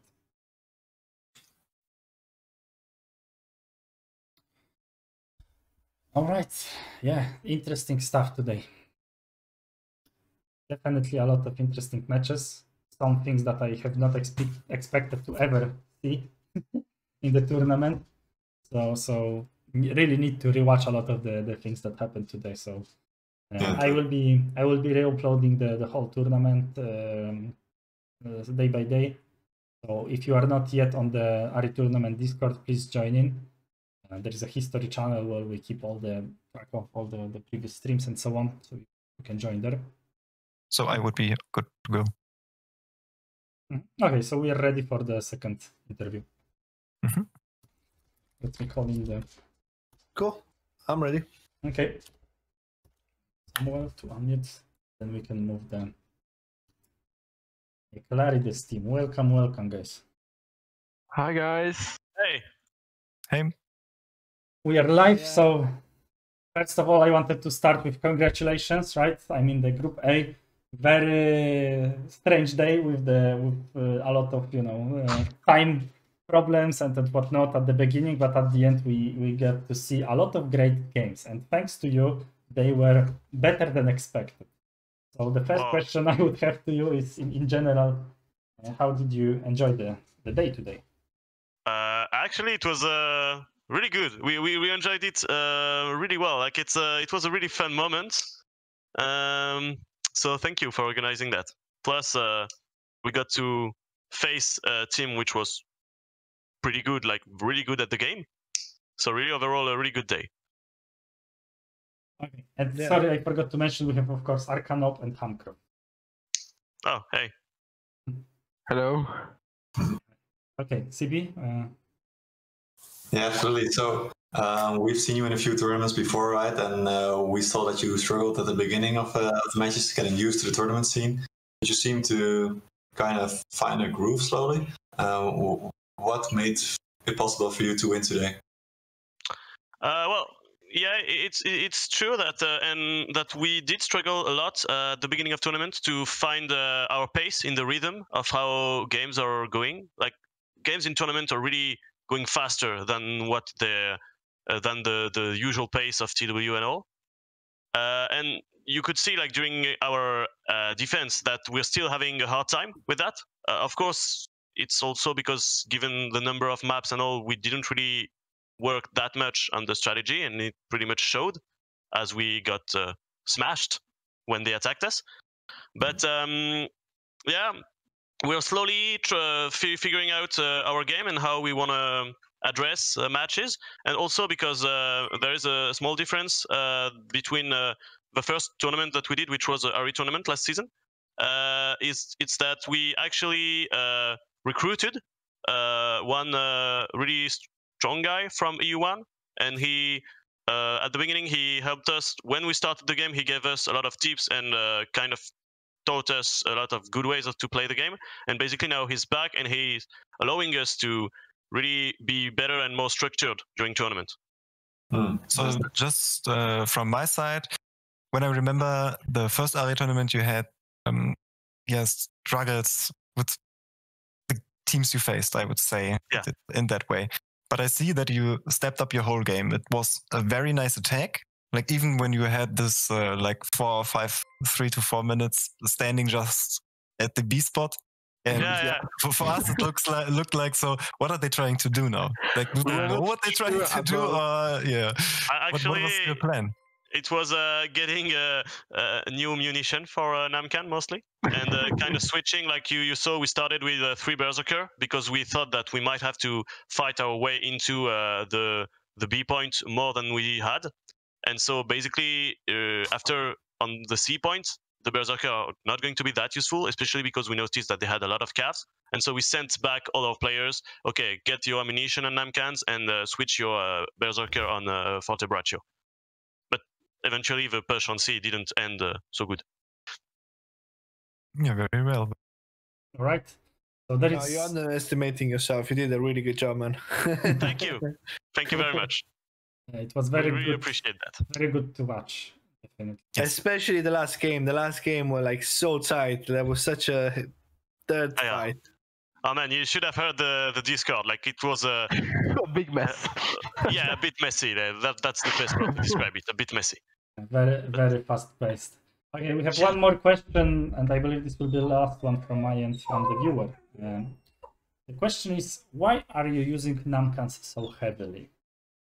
Well, um, it's actually maybe a consequences of the first Aritournament. We didn't use at all Namkhans at that tournament, and we got uh, pretty much shred to pieces by them. And uh, since then, we started to using them to use them more. Plus, uh, the E1 player, which is uh, Lagatha, by the way, and uh, Adriano with us, uh, is also a big fan of Namkhan. And so slowly we're integrating them more into our plays, and I don't know, it's just working. So why should we stop? Cool. Okay, so um, one thing from my side, um, you are in the lobby split up right now, like six versus six. Yeah. Um, three ground duel. I would say after you leave this lobby, we'll wait one minute roundabout, and then we would start into the deathmatch, just Okay. for fun, obviously. Okay. And yeah, um, thanks for the interview, guys. Well, thank you guys. Thank you very Uh, much for these tournaments. Mainly. yeah, we're we're doing the tournament because we we want to take experience and all in those fights, and also because I don't know, we are you not entertained? nice, nice. I mean, it definitely shows with the experience you talked about from the previous tournament. You really, really improved a lot, and then also the the rooster ch- changes you you mentioned. Uh, Yeah. Of course, targeted mainly to perform better in this tournament. But uh, why else, right? where Yeah. where uh, all combined together, uh, allowing you to advance from the first seed. So congratulations. Good luck in your quarterfinal games. Thank you very much. Uh, Thank have you a very really much. nice uh, day, and let's hope onto the the funny death match. Thank you. Good, see you. Congratulations again. Bye-bye. Bye bye. Bye.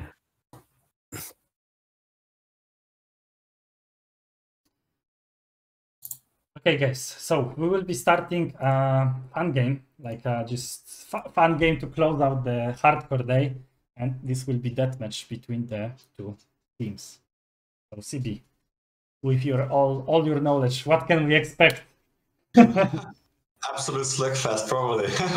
um, I have no idea, man. Um, death matches are all about communication. Of course, individual skill matters so much, right? But if you target out a few people, then maybe. Uh, I'm not a specialist here. Uh, I'm afraid. uh, I'm. I'm just so curious what they're going to choose. Maybe they're going like all longsword, and we will be still sitting here in an hour, or maybe they go full Nodachi and heal up the shit out of every single person. Yeah, I mean, uh, with uh, I I would assume that with uh, what we have seen so far, considering that um, current meta favors uh, a lot of heavy armors, especially with, when you have limited armor, right? You want to stay alive, uh, limited lives. You want to stay alive as much as you can. So that's why we see a lot of heavy armors in the tournament. But you know, many of these players probably are not the heavy armor mains, right? So I would expect to see something unexpected. So maybe a lot of light armors, a lot of dual blades, other things, you know. Many things can pop up which we will not be ready for, so we'll Yeah. see in a moment. Very possible. Um, so, well, we, we know some classes are better in, in dueling and others, right? Uh, longbow, very good in dueling. Um, longsword can be good in a group, but it's not going to 1v1 someone. Uh, but again, this is a group, so longsword might still be good to heal or CC very well. Um, but classes like uh, dual blades, like you, that you mentioned, maul, um, but also poleaxe. Poleaxe is a class that we don't see a lot, right, during the games quite often. Um, but in uh, one v ones, it's really good. You can CC lock someone forever, basically. Mhm. So uh, yeah, curious. Yeah, me myself being a spear player, at least from my experience, I don't like to play spear on the death matches. A lot of damage from the spear hero comes from the horse, and there is uh, no horse available in most of the death matches, unfortunately. That's a big disadvantage. So I use I use usually short short bow or some heavy armors from time to time. You know, depends. But we will see in a moment what the teams will use Yeah we are loading into the game. Let's see, and CB, maybe you want to take the main commentator now. Yeah, we'll see if that works. okay. You circle around the bell. Ah, let's see. Okay, we're seeing, yeah, like I said, many have, ooh, so the right side with uh, and Elite, I think, uh, and on the left side we got Matchin. I think those are there to uh, uh, like team leaders, right? Kinda. They are the best performers in both in the teams, but a lot of short swords, small and musket. Musket is the damage dealer. And on the other side, Matchin on his glaive and two short bows as well with a musket. Um, so the Matchin team is definitely outranging the other team, but with so many short swords, you gotta wonder if you can uh, get through those, right? Yeah, I mean, sh- shortbow have very hard time hitting the heavy armor, and uh, short sword is the heaviest of them all. So this might be a very problematic thing, but they can keep up constant damage, and this is what they are doing: constantly shooting. Absolutely. We see short sword rushing in. Uh, they're trying to CC as many as they can, but Matchin counterattacking. Uh, black bomb grenade from the musket, taking them back, but the red team is advancing forward. Let's see if the moles can grab someone. Yeah, there we go. There's one mole grab, but it's only to push them further away as we get the first kill for the blue for the red team. I'm sorry. Yeah, and so far we can see that the red team is very aggressively coming into the spawn, and this is paying off for them as they have more kills. This is equal right now, and as you can see, the fight is happening still. Oh my god, double short bow. Oof. You're gonna have a hard time, boy. Yeah, they're grouping up meanwhile. I'm actually getting the kill there. Let's see the mole spinning around. Ooh. Yeah, we can see the glaive is also so good because you can see, see, see so many people at the same time. As we see that they're rounding up those sh- short swords And let's see if the blue team can now go to the red, uh, red team's base and killing them there. And let's see if we also get any chests pretty soon. I don't know if chests are enabled, are they? No, I believe in the tournament rules they are not, and keep in mind it's the first time we are casting the deathmatch, so we are not sure, but yeah, seems like they are not. Okay, seems like the red team have taken down a little bit of a breeder, because they have four kills less, right? So they need to regroup, rethink their strategy, and that's what they did, and they are pushing right now. Look at that. Ultimate after ultimate after ultimate. Very well staggered, not allowing the blue team to do any movement here.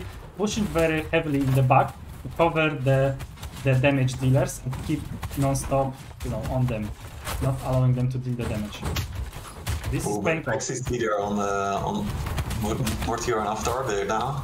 Let's see what else. Ooh. Yeah, and this this paid off. It's six six, right? They were four behind. They equalized. The red team is getting back again. Yeah, we see the short bow getting called out. Hard to get back from that, and he's down. There we go. The musket in the back. Look, oh, he was around the corner. Big grenade there. Let's see if he can follow up there. But the red team is winning this one, and the blue team has to regroup once more. Yeah, that is a very good last one minute from red team. They equalized and they they gone over even, right? Nine versus six kills. So this is very good advantage. Unfortunately, there is a one per person who was caught. And this Yeah, is that was Kiwichoko. Kiwichoko. And now it's seven versus six, and let's see what's going on. The short swords from the red team pushing forward, trying to get on the back line, as the blue team is going to kill the musket, but the musket is so quick and nimble. Look at that, how he's walking around the battle. And there we Ah, this is so much to follow. Yeah, a lot of action is happening, and uh, definitely much more player focus than standard siege, right? So maybe let's try to use the following camera. We can see that Sion is gonna die here in a second, or will he? No, he won't. Look at that. That's sneaky man, sneaky musket. Survived a few seconds more, but not enough. Yeah, Red totally. team, red team very heavily damaged. They're healing up right now. But some people are also on the front line fighting. And the red team is getting ahead. They seem to be grouping a little better. Oh, that's a great short sword ult. Resetting the attack, and there's a few low members on the blue team, so the red team might be able to catch those out. And look at that, just one short short, holding back five guys. Yeah, for a very long time it is as well. Seems like the teams have taken a little bit different approach right now. As you can see, red team, most of the team is fighting. One or two people at the back are healing, right? So they are staggering their heals. They are basically doing it one by one by one and constantly keeping up pressure on the blue team, not allowing them to kill at all. Someone is healing? Yeah, good luck. You have a short wall on your head a moment later. Totally. And uh, opposite to what we saw on the matches matching is Intimus a little bit. He's already gone down four times. Quite different from what we are used to. Yeah, we can open up the stats. You can see here on the left and right side, Sion 6 kills. I mean, musket player, right? The, the damage dealer of the team is doing the, what he's supposed to do. And then, of course, the assists are here.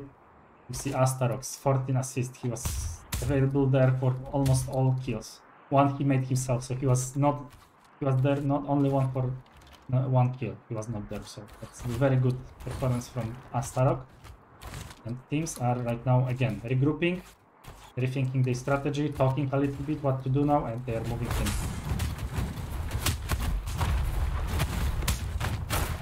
Lot is happening. It's very hard to track all of this, so at least I'm going to try to statically stay. Very nice ultimate from Glaive, putting down two players. You can see again, red team. All of them are very low, but they made the advantage early on and they continue the pressure non-stop, not allowing anyone from blue team to kill. I mean, yeah, red team, we are at your spawn, what you gonna do, right? You have nowhere to go. That's their tactic and it seems to be working because they have seven kills ahead. And Xa- Xaeon with the musket, he is dancing around these fights so well. He's just continually dishing out damage, taking all the kills, while all the others set it up for him. Yeah, and red team healing up, right? This is this is very good play from them. They're healing up right now and getting ready for next battle, and then they collapse all at once. You can see Hamkrov very nice coming from back on the musket and short sword, keeping them busy. Choco as well helping there. Astarok chasing another short sword, short bow, not allowing any damage to deal. And we see Vice versus Pink on the other end. Sion being the, ma the main damage dealer is being chased by three players here. Two short for one maul, and they kill him.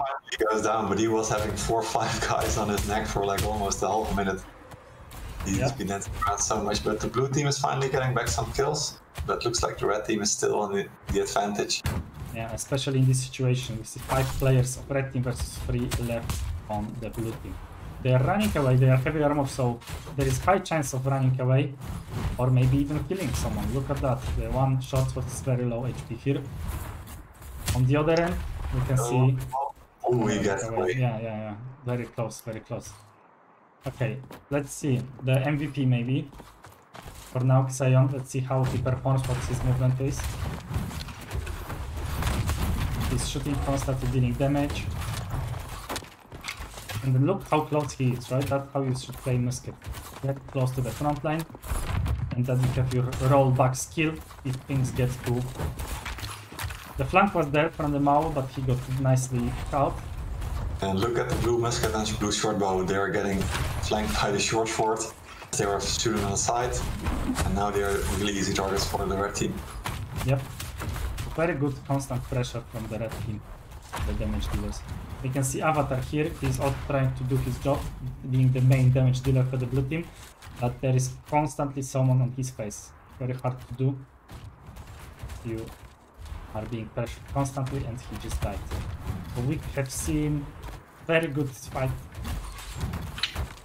Right now, two kills left for the red team to make to win this. And I think they will have it. Jiras, will he die or will he be able to escape? So much health, yeah, he's dead, that's what I thought. And then Uh, only one kill left. Let's see what they will do. Healing, they, they, they want to make this juicy, no doubt.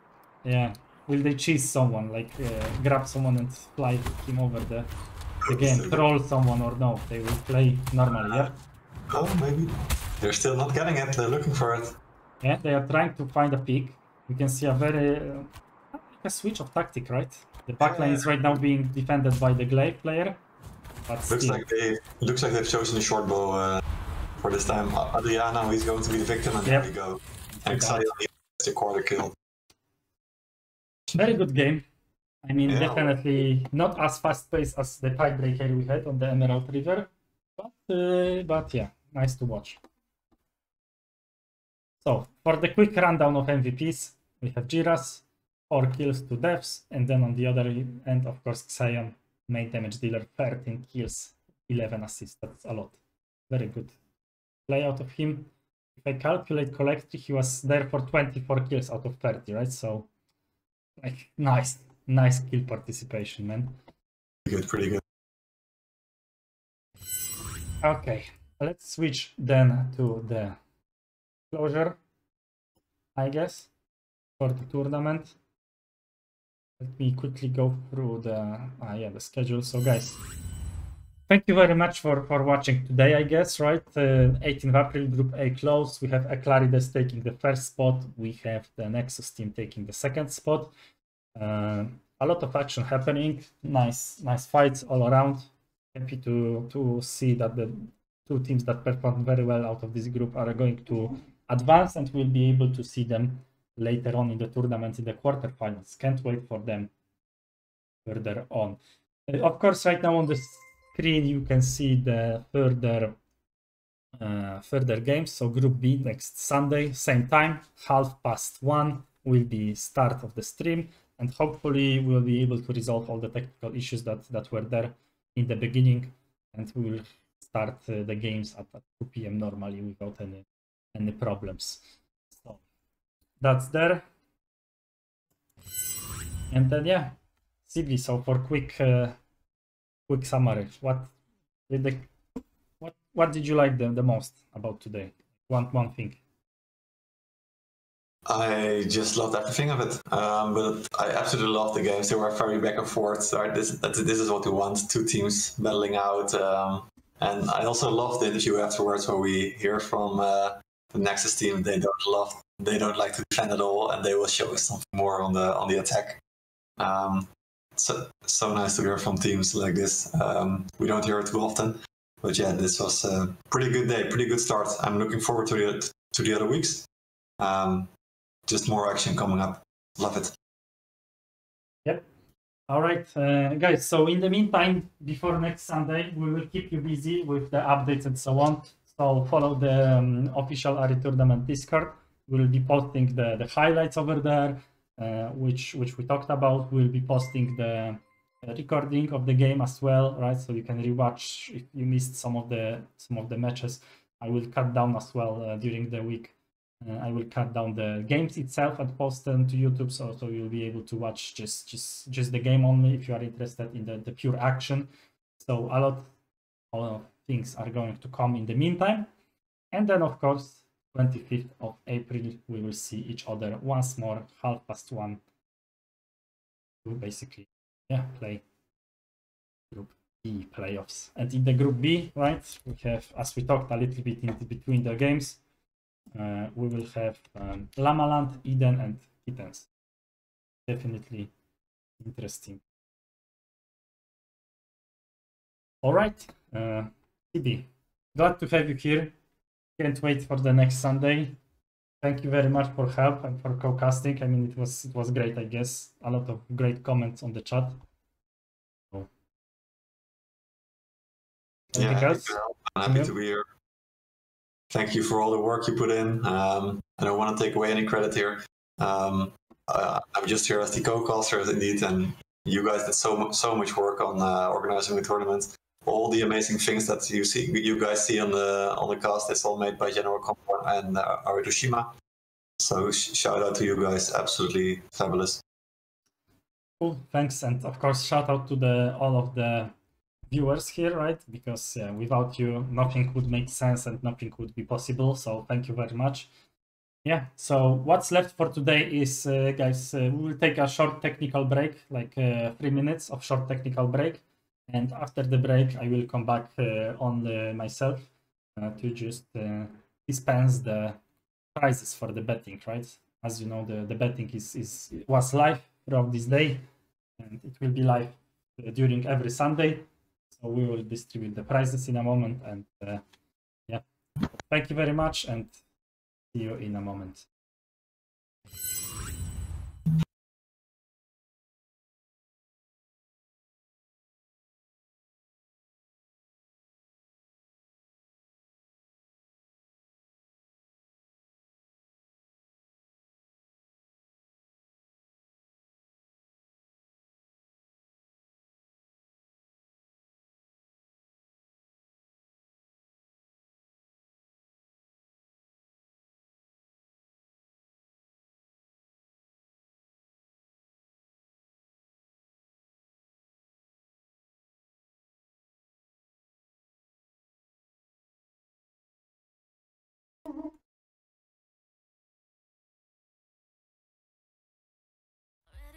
Watch your game, but I'm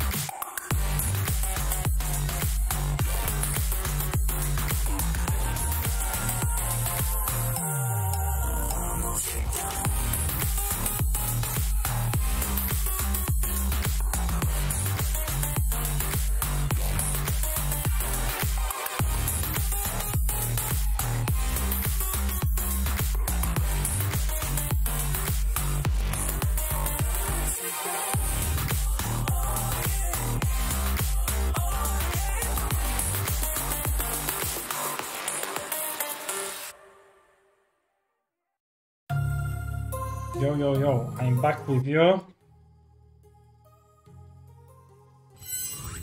Badum. Yeah, okay, we are live.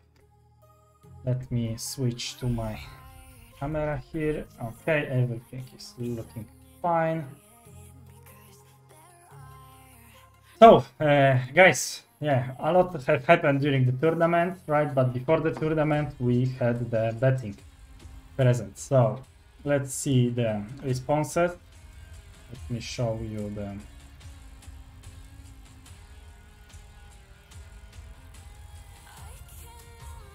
the site in the background. Yeah, you can see the site. Uh, so as you know, there will be a lot of uh, a lot of betting. Like every Sunday, there will be betting, right?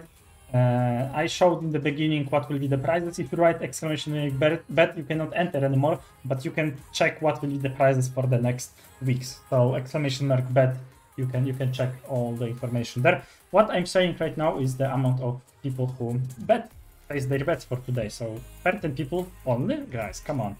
But then Nexus, 46 people predicted, 30 people on Eclairides, 30% on Eclairides, and 23 on Arrogant Ravens. So I guess, guys, you were close, right? Between those two teams, you chosen, you chosen mostly, right? So that's that's good. Okay, let's see for the for the responses themselves. We have uh, four people here who have provided the current uh, the correct responses. Uh, let me hide my camera for a moment to show you this. Uh, yeah. So these these are the people who provided the uh, correct uh, correct responses. So I'm gonna copy these nicks over here, transfer them into the software I use for the lottery. Let's turn on the background music because yeah, the lottery will have a nice software, uh, nice music as well. Bam. Manually. Ah, only one copied. Why? Okay. Bam. for people. Spent. Yeah. So we have four people in total who predicted correctly. Let's see who will win today. And uh, one more thing. Usually, what I do is I just do the countdown as well. But for now, I will just distribute the prize to the winner directly uh, due to the time constraints. Uh, I mean, yeah, we, we had the, the issues at the start, so so some people might be uh, no not there anymore. So let's see who will win today the double hero XP cards.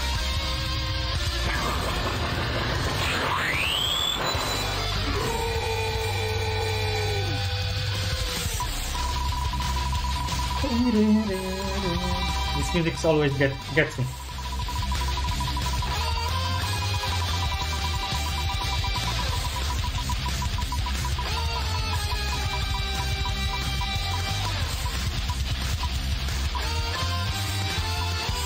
Limbos! Congratulations, Limbos.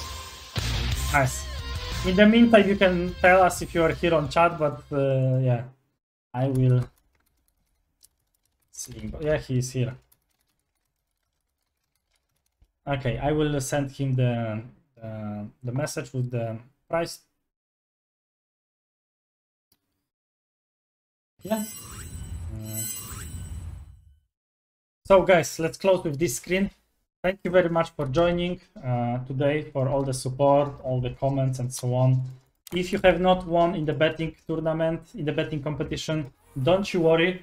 You still have a chance. There is five more Sundays. Every Sunday we will play. There will be betting to be executed. So definitely many more chances uh, to do so. So don't, don't worry about the games itself. As you can see, once more showing right next Sunday Group B is going to play. So let's, yeah, I, I mean I'm going to see you there hopefully one past one uh, half past one p.m. next Sunday Group B playoffs. Yeah, Corona combo tire. I don't have Corona, fortunately and unfortunately. Yeah, I have some health issues right now, and I'm going. Uh, I have some a lot of uh, medical checks tomorrow, so hopefully we'll be able to see what's happening. But yeah, other than that, that's all from me, I guess, for today, and from Mr. Dogo as well. Mr. Dogo, you want to say something to the camera? Buzi? Oh, buzi, o, o, bu, buziaczki, yeah. Kisses from Mr. Dogo to you as well, and uh, goodbye. Let's see you guys next Sunday. Thank you very much. Good tournament, good fights today. Enjoy your Sunday. Bye bye.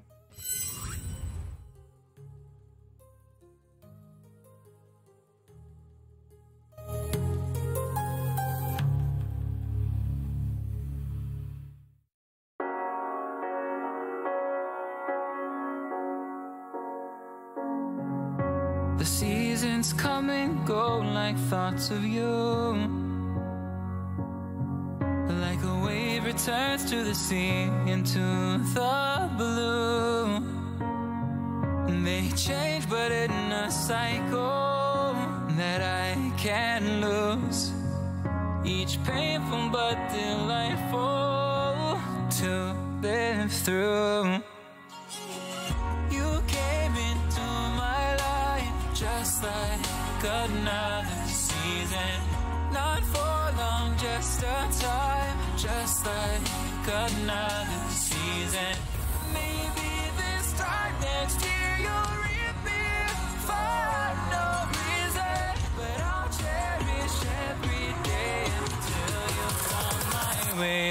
Way